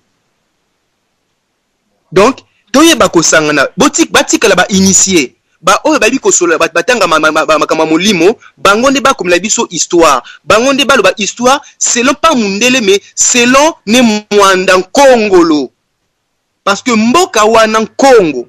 mokili oyo kongo ekotambwisama pas selon makanisi ya moto aliyekitela kindesi na ye alie ntinga na ye fumbwa nkovi madesu alobi demain telle loi les gens y rêvent Congo ya sika mibeko tout eko regne wana eko wuta pa ne muanda nkongolo donc nous on veut plus de tribalisme on veut pas qu'on attend l'histoire du Congo et que bangala baluba non nous sommes tous de bena nkongo bana ya mama nkongo il est temps de faire notre histoire pas selon les blancs mais selon bankulu na biso parce que lisolo ya nkongo eza mundele te moto akokomela biso Ce n'est pas mundele mutu akokomela biso likolo ma Congo. Ti lelo tout ce que nous faisons pona kosilisa Meme notre calendrier, lundi c'est quoi? Allez verifier, tapez sur Google lundi, mardi, mercredi. Eza ba nzambe ya ba paya to adoraka. Ba nzambe greco-romain oyo na les 12 oyo basala oyo biso basala le panthéon, le panthéon greco-romain, les 12 dieux du panthéon greco-romain oyo ekoma les 12 étoiles de de l'Union européenne. Ba ba se referaka toujours na biso mais toyebaka te. donc bango bakoma ya bango histoire mais biso pe histoire na biso totika toujours ko se référer parce que lundi mardi ba papa na biso boza mayele parce que eloko moko eza sûr hein ba papa na biso batangi classe lokola mundele balandi moyeke pe monama ya mundele baza kobeta tolo koloba français anglais ba, ba deutschland na mundele mais ti lelo ba papa Baza kokoka kokoka kotonga mboka na bango lokola mundele te ça veut dire quoi fongola ya ndaku na yo jamais ekoki kofongola ekuke ya ndaku ya mutu mususu totika ba complexe ezanga tina ko ba ba français j'ai etudier qu'est ce que tu as etudier mutu asala ba koko no mabe aka epeso mayele mutu vraiment asala ba koko no mabe aka epeso mayele quelle étude quelle étude que l'être humain va t'apprendre que la nature va pas t'élever Parce que un homme sensé, un homme sage, ce n'est pas un homme qui, la, qui l'enseigne la sagesse. C'est la nature, notre mère à tous. Notre maman, maman, mama mutu parce que mboka tofandi ya poto oyo ezali mboka ba, ya bato ya ba pede nous c'est la femme qui est dieu c'est la femme qui est reine c'est la femme Alors il est temps de vivre selon la justice ya muasi botika bokabuani maman akabolaka bana te nkongo imuna nkongo ya nkoma mbele ya ntena mbele nge vo vako fumu eto fumu kimbangu matondo. Merci encore une fois ndenge olobi intention na biso na emission oyo ezali te ke po bato oyo bako se retrouver na region moko na ville moko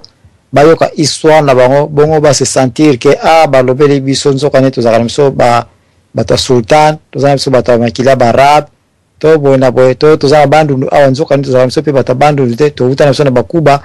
Non! Intention eza mpo oyeba histoire na yo, mpo ete ba makambo eza koya, oyeba ko se retrouver na oyeba kozwa ba decisions na Congo. Mpo mpe o comprendre pourquoi bato mosusu oyo basimbi masolo ya politique na date ya lelo na Congo, c'est parce que bayebaki ba makambo oyo te. Soki bayebaka makambo oyo, nde bayebi mpe comment bakoki ko bloquer ba Tutshi Rwandais, basakana na kivu ndenge baza kosakana yango te parce balingi bacomprendre te a ah, masolo oyo barwandais ba bazwa nango bakopie kaka babiloko oyo esalemaka na ntango ya basultane ya barabe bakopie yango kaka yango wana bazozongisa yango lisusu en ah bon nzoka nde ezalaka boye boresi kobloke bango voilà pourquoi bato basimbi bapolitike ya lelo oyo bayeba mpe ete pourquoi baza capable ya kozwa corruption facilement teka na yo petrole teka na yo parke oyo Pesa na oyo epa mundele. Baza komitungisa pourquoi j'ai reussi à signer des contrats pareils lelo oyo po bayeba ete baza pe na makila ya ba koko na bango oyo bayaki comme ba paya, comme esclaves, comme batu moko Congo ezalaka na yango pe pays na bango, patrie na bango te depuis temps ya kala yango wana baza na courage ya koyoka ata remords moko te, mawa moko te ya ko signer ba contrats. Batu yango okokuta bango wana batu basimbi ba politiques ya mikolo oyo ce sont des gens qui s'en foutent de tout. Parce que makila na bango apparemment eza nango mpenza makila mpe ya Congo te. Voilà yango wana toza koyaka na ba emission ya boye. Mais ngai ta nazopesa motion epai ya ndeko le fou, bokopesa ngai mpe temps natanga kaka section ya ba rab oyo eza kotungisa bato, oyo ezo tenter ko supporter ete 90% des actuels baluba basimbi territoire ya centre ya Congo, Ce sont des arabes baza ba esclaves ya ba arabes baza batu moko batu ya sultani a remplacaki bango ba koko na bango bango batu batumbaki ba place wana kiye lelo bakomi koloba mabele ya Congo mabele ya koko na koko na yo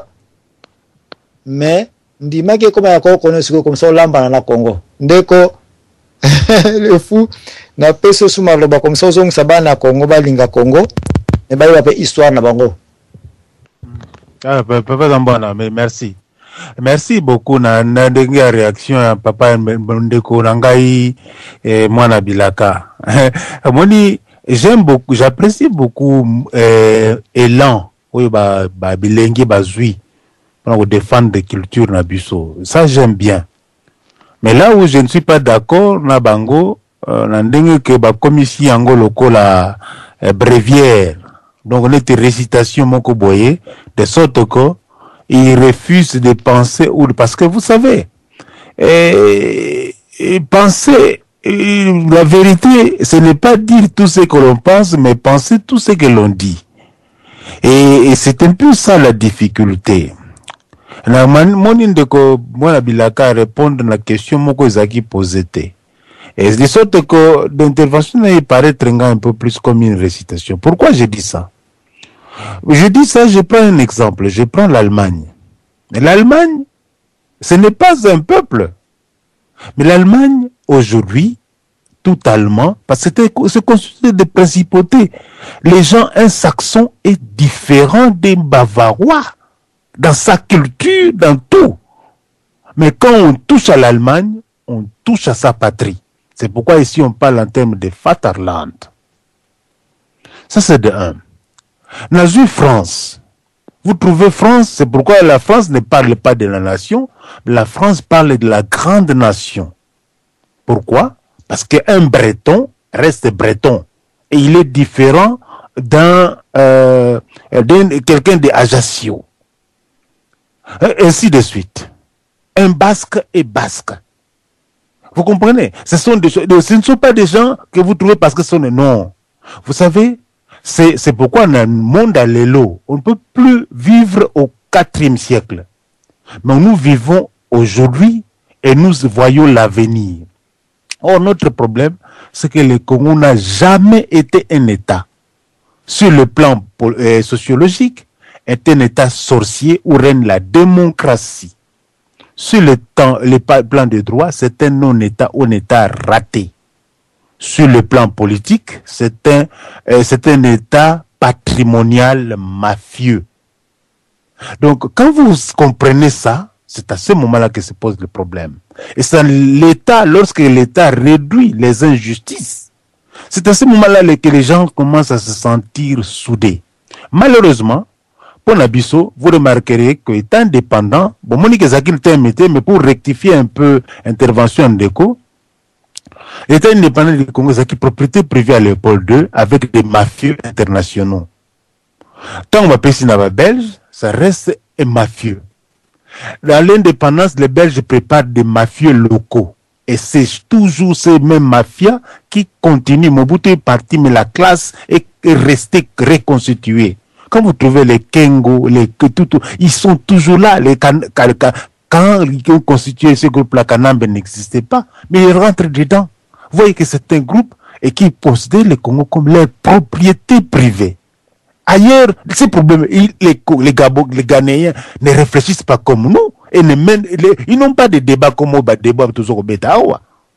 Non, c'est l'État qui contrôle, qui entre, qui sort de son territoire.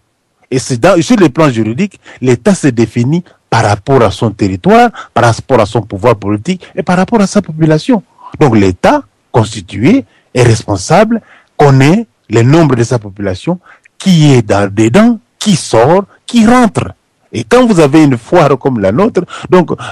qui passe par, par, rapport à par rapport à ces tout, et tout ça. Mais ils viennent simplement parce que nous n'avons pas d'État. Ce sont des mafieux locaux et régionaux qui s'entendent et qui nous tiennent en otage. Donc nous sommes leurs esclaves. c'est là que nous devons insister.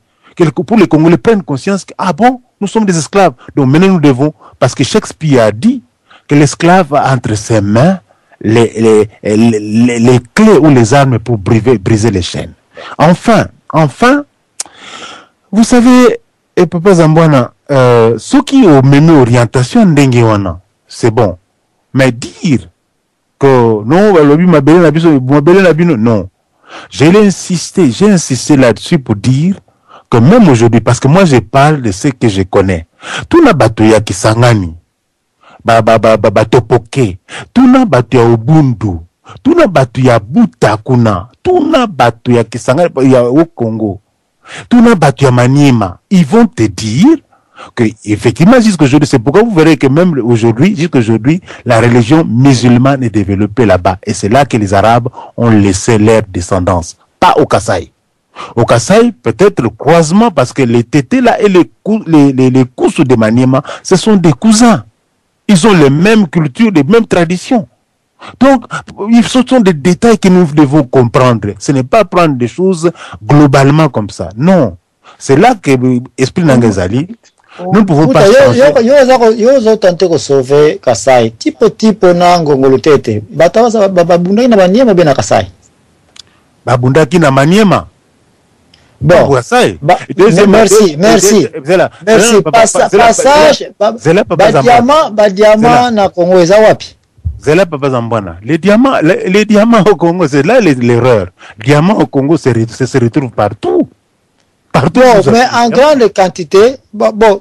anyway nakotangela bino ba biloko oyo Mais, mais papa, Soko- Zela, soko- papa, soko- soko ozanga raison problème ezali te alors papa, quand, quand vous allez, vous allez na nini, na oyo na côté à Bandundu, place Kayemba. Il y avait des diamants là-bas, non Mais kasi yango Diamant- wana sikoyo émission ya mpoka lelo tobengaki yango titre ya kwamut kwamut ce qui signifie mu- Non. entonnoir ya kwamut nalingi Non, nanga c'est- c'est là, papa, kotiakamagio papa, na- na na clôture. minere te Non, zela na clôturer émotion na ngai. Hein? Na me clôturer émotion na ngai. Donc, vous pouvez pas réduire toute histoire à travers livre oyo ozui c'est là ton problème papa eza livre te eza rapport oyo moto akendaki kovivre zela c'est le congo ya ile eh. bakuba bo bakuba sikoyo baza bato ya maniema obie zela zela mais ils sont frontaliers ils sont frontaliers papa zambwana mais c'est ça problème eza mpe ngai nalobaki très bien totikana na angola congo brazzaville ntango na 1880 tika nga na loba ko papa zambwana problème oza omoni kana kozwa temps mingi émission ozo ozo comme ça large te nakoderoute te zela nakosukisa oyo nakosukisa awa puisque ozo comme ça trop large te nakosukisa awa un muluba n'est pas kuba c'est ça ce sont ils sont différents mais ils vivent ensemble ils vivaient toujours ensemble un mushilele est différent de luba Un Louba est différent de Tetela. Mais ils vivaient toujours ensemble et pacifiquement. Parfois, il y avait des accrochages, mais parfois, rien du tout. Et il y avait des mariages interethniques. Donc, ce n'est pas c'est un faux problème et un faux débat. Voilà un parce que moi, je suis partisan de l'État. Et nous ne pouvons pas ramener les gens à vivre, à, à vivre au siècle. Néanmoins, nous devons connaître notre histoire. Mais reconstituer notre histoire pour que cela nous soit utile aujourd'hui. Que nous avançons de l'avant. C'est n'est pas parce que l'histoire que nous allons faire. Et j'ai dit, et j'insiste, là que je vais terminer, un document ne peut pas faire toute l'histoire, parce qu'il y a des documents. Cet homme est venu au 19e siècle, alors que les Congolais, les Congolais sont là depuis des années, des siècles. Alors, vous- alors vous comprenez, réduire le- l'histoire des Congolais au 19e siècle parce que cet Merci, homme-là a Mouta. écrit, Me- ça merci, c'est une merci. erreur monumentale et c'est criminel. merci yango wana document etanga kotanga yango ekokanga yo na maloba na yo olobiki document ya kala banini na place ekoloba ete place okomona eke mpe ezalaki na yango jusqu'à ce que babandi masolo nazoya mbuta topesa na bandeko mosusu makambo nyonso oyo oza na raison sur base ya balivre ya kala mais sur base ya document oyo mbuta ntango kotanga yango okoyeba ete en bon tout doit être repris à zero na banza toza na ndeko akoteli biso awa mama tina ndaya topesi maloba kuna Allô, euh, bonsoir papa Zambwana. Allô Bonsoir ma sœur, bonsoir. Bonsoir papa Zambala bonsoir na ba ndeko nionso baza na kati ya conference euh nazalaki kolanda emission banda ebandeli euh nakoti pe na kati ya document yango ya US Navy Congo bon nameki ata nameki kotanga un peu euh, na survoler kotanga un peu ce qui est écrit dessus mais bon nazo Nazo comprendre te kabaka ta allegation uti obimisaka sikoyo bafaka tout à l'heure atango oza kopesa oza kodeveloppe mwa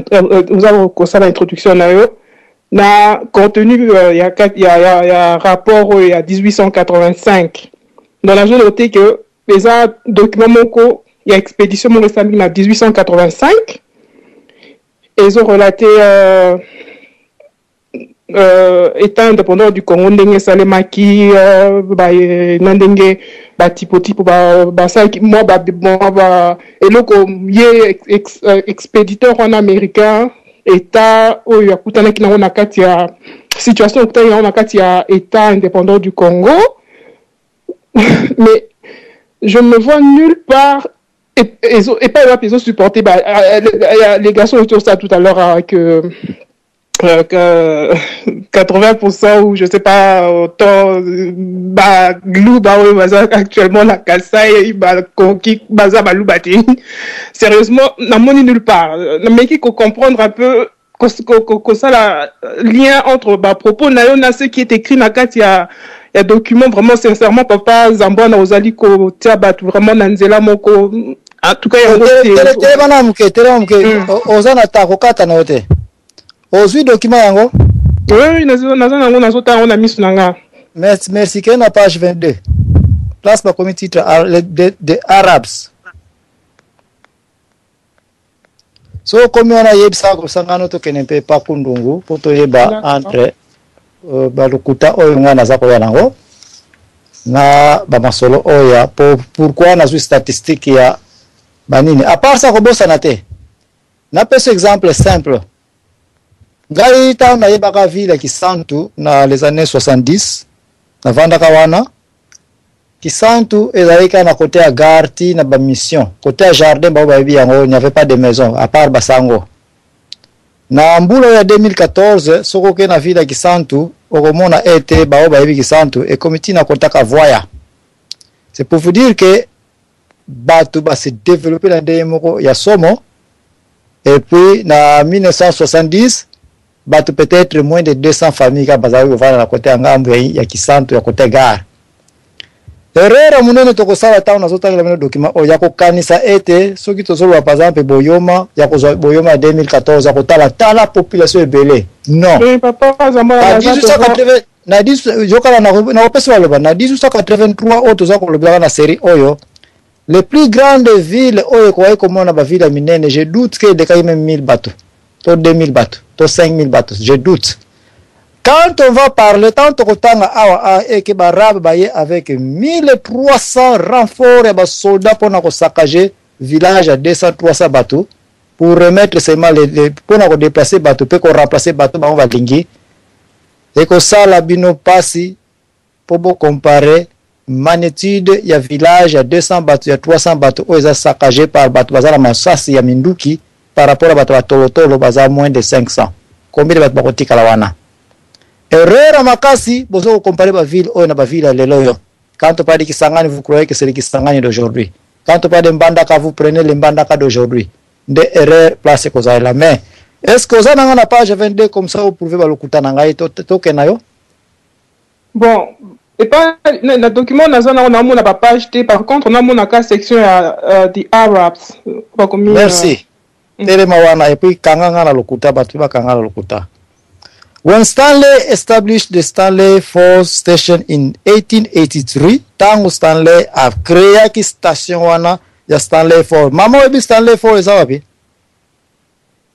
Non. Erreur ya liboso yango oyo. Kiadi. Siko kongo ya kosila nga teme tango oyebi meme te sande fort eza wapi. Kisangani. Et puis ah keba falls falls et puis toza kokoba. Mm. He met Arab slavers in the vicinity of Stanley Fort. Akutaki deja na 1883 ba esclave te. Mais ba arabes levers donc ba maître oyo baza na ba milliers de milliers ya ba esclaves. Ba arabo bazalaki kosomba ba ba ba autochtones bazokomisa bango ba slave hein, à l'époque. Merci. Wapi mm. na même place wana n'est-ce pas? Na place wana. Mm. They were already commenced their work of destruction. Babandaki déjà musala ba ko détruire milimo. ya kosombaka ba esclave oui ya kosombaka ba esclave ah, oui ah, mm. ah, kosomba ya esclave eza kodétruire te ba oui eza kodétruire parce que là ozomema ozosomba batipotipo bazalaki koutilize violence mpe mpona kozwa ba esclave merci toke na oyo yo olingi me ngai nayebi soki na est ya congo so baza kosombaka bato kuna ekokoze 8 million te mais destruction yango moto ekokoze 8 million de mort after the establishment of the station the arabs withdrew to Nyangwe balongwe na place oyo basala basalacha ba destruction na Nyangwe bakiti siko na se wana in May te eh, no bakei ba na Nyangwe balongwe ba na station bakei na Nyangwe mm. merci donc bauti ya kodétruire ba, ba, na bafort bakiti siko na Nyangwe n'est-ce pas oui. bazokoba mm. na mosala ya destruction Mm. In May and again in July 1884, small mm. parties of Arabs came down to the seventh cataract. Mm. Ah, ba falls oyo, ba sheets eza ebele. Ba committee mm. na septième sheet. Iye yo ye baka mm. biloko oyebi na yango te parce que déclaré déjà. kanisa ba baza kokita siko na kote ya kati ata nayebi te bakombo wana lelo eza bakombo nini ah, ezo ah. change kaka eloko te en fait ezo change te par rapport ya ba oyo allégation na yo quoi en fait c'est ça mon problème mm. oui problème eza te kangama kaka na thèse na yo kochange te wana ekozala mm. corruption garde mm. yango parce na respecte yango omoni ke bazokoba bakiti sikoyo ti na 7e cataracte ke ba cataracte yo oyebi yango te biso toyebi ke ba cataracte ebele eza siri bakota ba lukenie bakota na tout ceci ba stanley fo ozalaki ebele na kote wana mm. me barefusaki bango na chef ya station n'est ce pas omoni yango mm. ke bakota te sikoyo yoka eh, basengaki permission ya kokota me baboyelaki bango nsima mm. yantika oyebi ke sinfi challenge mm. Baboyi bakota. Tembe ebandi. Ok? Mm. Everything was quiet until October 1884. Jusque là, côté ya bato oyo ezalaki très calme, côté ya centre Congo, vrai ou faux? Mm. Hey, eh, bato babundaka na bango te, baliaka bakokoriko na bango, eh, bazalaki très calme, bavivaka na mm. ndenge na bango. When a caravan of 300 mm. men came down from Nyangwe, caravan mm. ya 300 bato ewutaki na niangwe oyo yo owuti kochallenge ngai kala mingi te bakiteli mm. bango kuna place mm. bato bazalaka nango na, na calme na se ya mm. commandement ya nani ya mwana ya tipo tipo monyomwe soki monyomwe monyomwe le son mm. of tipo tipo mm. chef oyo azalaki très pensolant trop méchant mm. impoli ataki bato nyonso na passage naki ya koboma aye ko amenasaki amenasaki amenasaki hmm. makambo problème eza nango te yo utiliser ba verbe na nyonso na komela yango na kokoka yango na kondima yango peuple bazoyoka biso bakiti ti na na na na na île moko eza entre katikati ya mai wana place ye bato akota likolo bato bayebi ke barivière na biso ezalaka na bamai mpe na kati ekaka mabele bato bavivaka ya te hmm. bamai ya minene toza nango bakiti ti kuna par force ti na septième cataracte wana sikoyo tokomi na mbula nini Novembre 1884, n'est-ce pas? Mm. Another body of Arabs, encore groupe ba Arabs oyo ebele baye lisusu 300 mm. personnes ya makasi mm. sikoyo baye mm. kose positionne wapi na nganu mosusu ya rivière sikoyo ya kote ya mai wana baza kokitela n'est-ce pas na katikati mm. ya koko mm. toyokani armée mm. sikoyo bakomi kombe sikoyo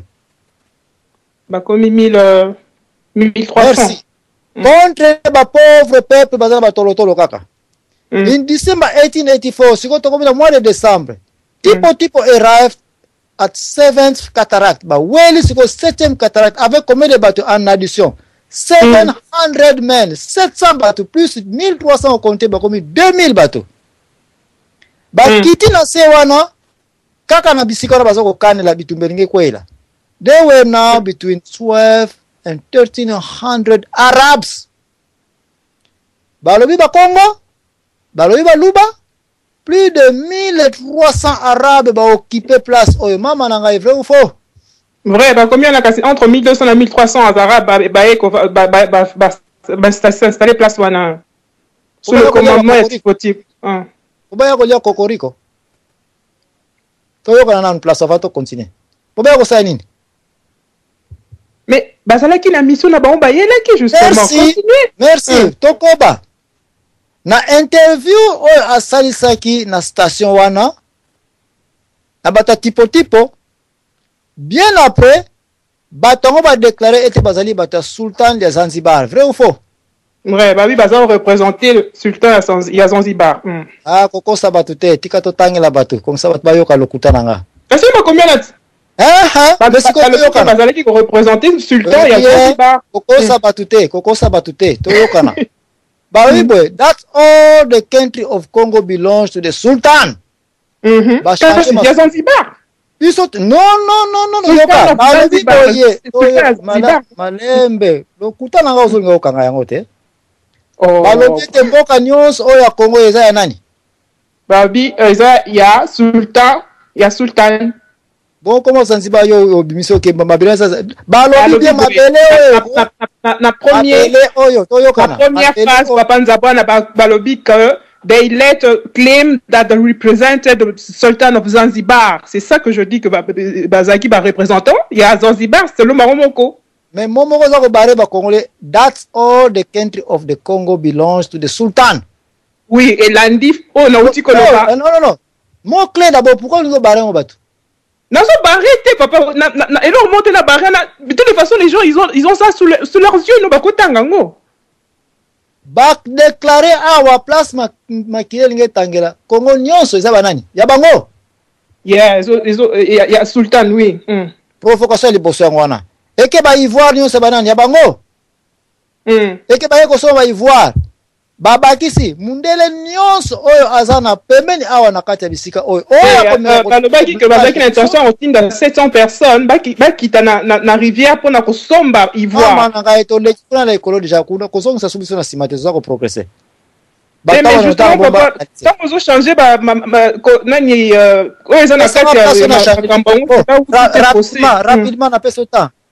Kende koloba 700 bato oyo eza ko interesse oyo oza kolobela parce que towuti ja kuna.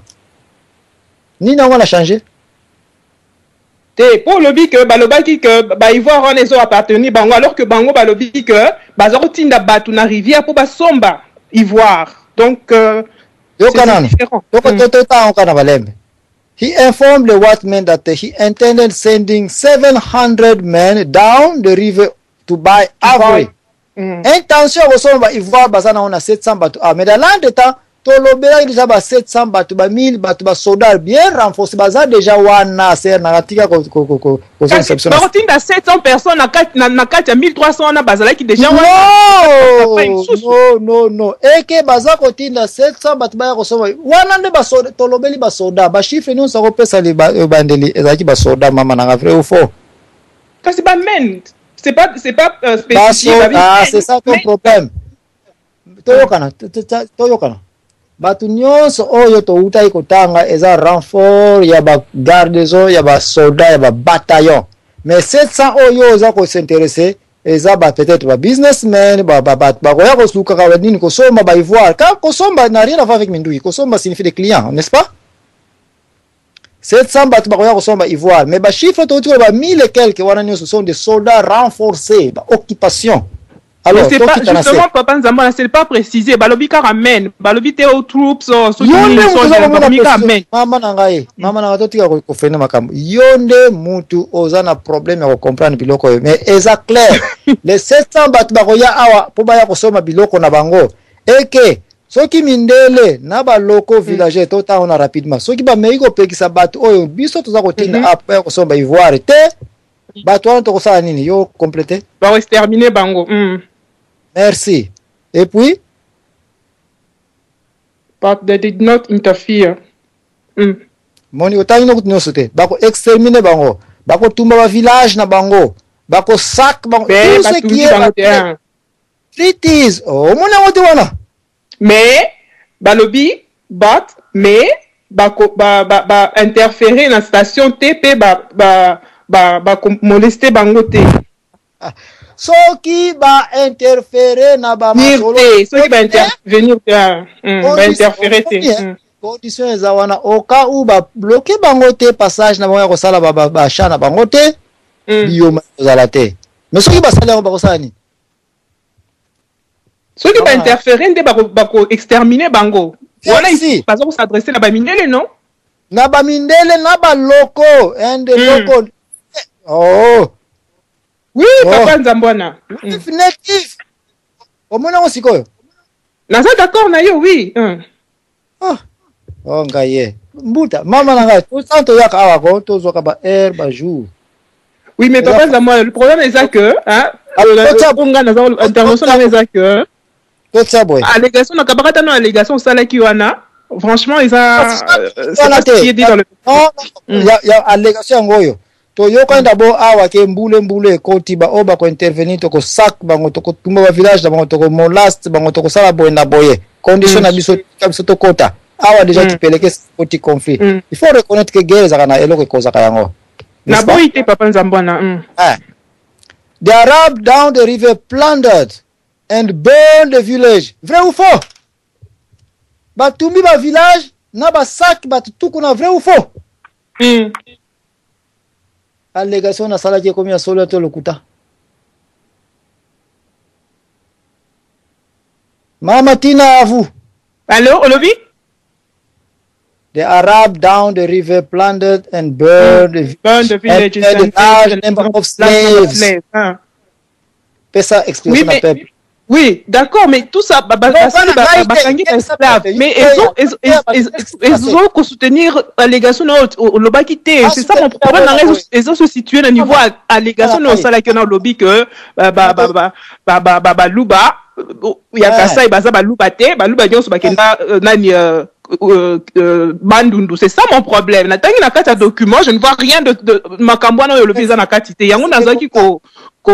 koloba kaka ke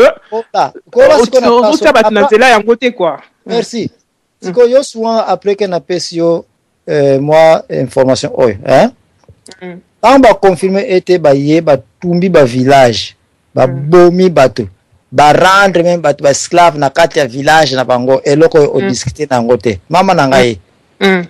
oza na 2014 oyoki makambo mm. eleki na est ya congo ntango barwande mm. bake na ruchuru batumbi mm. bavillage ya beni babomi mm. bamolaste bamama na biso bamama yango mm. bafandaka na ville wana bakimaki bakimaki baville wana eh. eza kidi sikoyo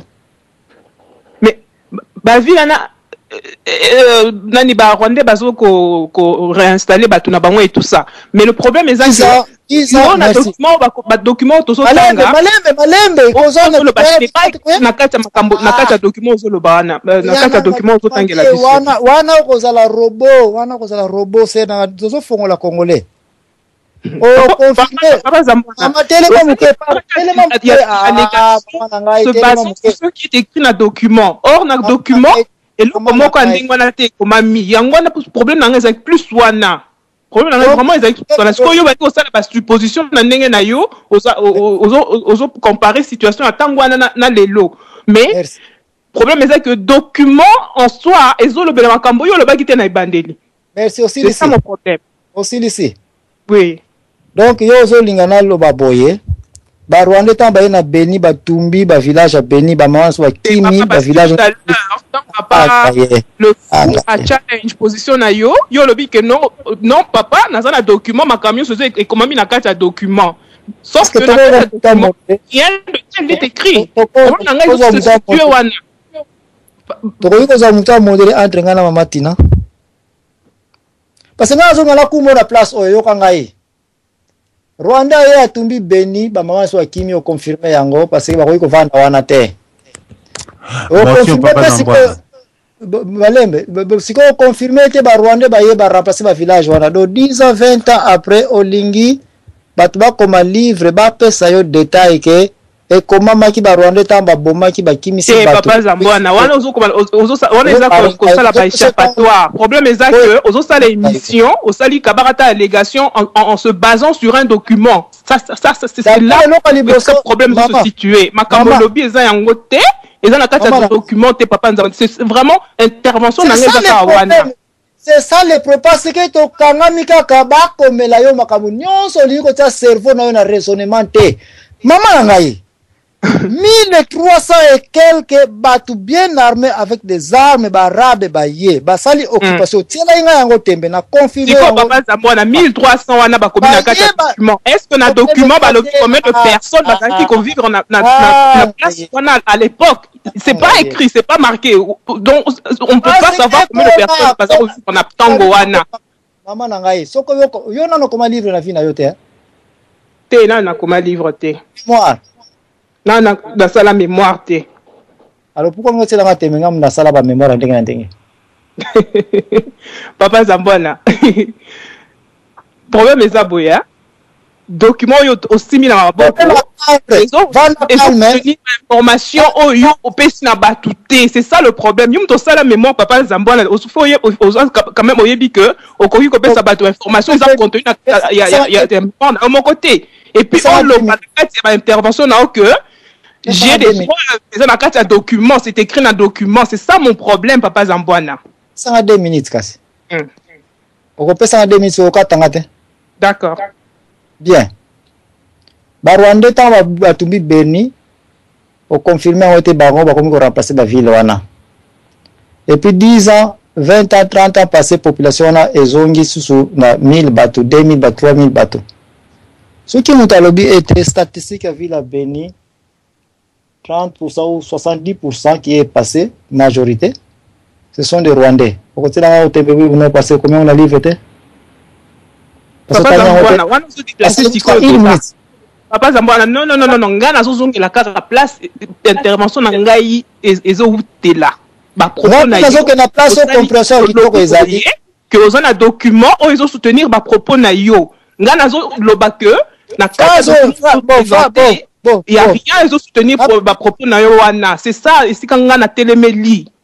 c'est tout nga na telemeli kaka wana soki moyen kaka ya corriger kaka place wana que non document oza na yango eza na ba, ba, ba, ba preuve moko te ezo soutenir ba propos na yo c'est tout ce que nga nazo loba nazo loba sinon eza kopitya bato na nzela mosusu nde on mislead bato eza eza eza yango nde problème na yango wana Alo, tika na tangelo yango comme ça bato bayoka. Mm. The Arab down the river plundered and burned the village. Plunder signifie kokombola. Mm. Vrai ou faux? Yeah. Mm. Atumi village nyonso mpo histoire ya village wana etikala lisusu te. And made a large number of slaves. Bato tu bakangaki wana bameki bakomisi bango wana ni basclave bankole na bango. Bato tu te babi a large number donc bato ebele. Mama osi osala probabilité oyebi osi ozwa cours ya statistique. oui nasi nazwa cours ya statistique soki balobi ete basi na mibali basi bakufaka noki elingi koloba ete mibali nyonso bakufaka apres basi mama bacours tozotangako toyeba kopratike mpe yango so lobi elage nde cela veut dire ke passé ok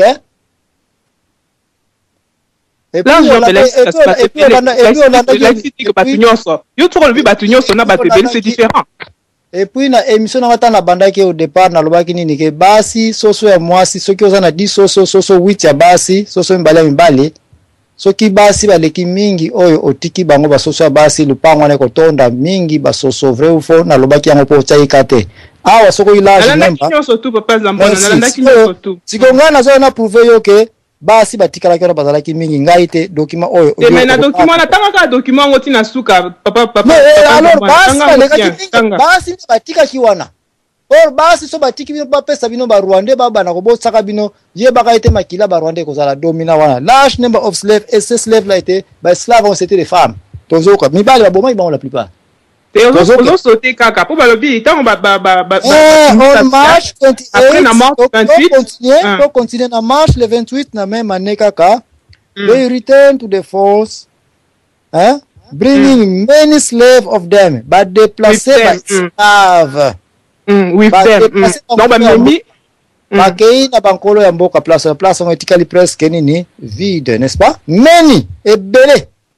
Mm, the expedition ebele. had been successful Had success not, not been, not been. Ezalaki successful te, papa Zambwana. Yes, Not been. nazo nazoya the expedition has not been successful Mm. nanu basilisi mission na bango te awa n'est-ce pas Mm. nazokende ba fraza yo moko eza kokanga yo kamuyiba kokanga na ezokanga nga te ezokanga nde yo moko papa zambo wana sérieusement the native bankolo ya mboka had receive mm. warning mm. bapesi bango attention lisusu mm. bakebisaki bango mm. not to be able to conceal the great part of their ivory bake mm. ba, surtout basimba banini ba ivoire na bango te baza Bof, capable ya Arab- kobomba mpo babomba ba ivoire na bango mm. donc ba- Bato bakebisaki baza- bango mpo babomba ba ivoire na bango parce que expédition ya ba- ya ba- ya ba- ba- Eh, tipotipo eh, wana eh, eh, ezalaki plus mpo na eh. ba ivoire telema telema Mm. ero oyo ero oyo makambo yeyo nini ezotwaluminoka bitumba nkita te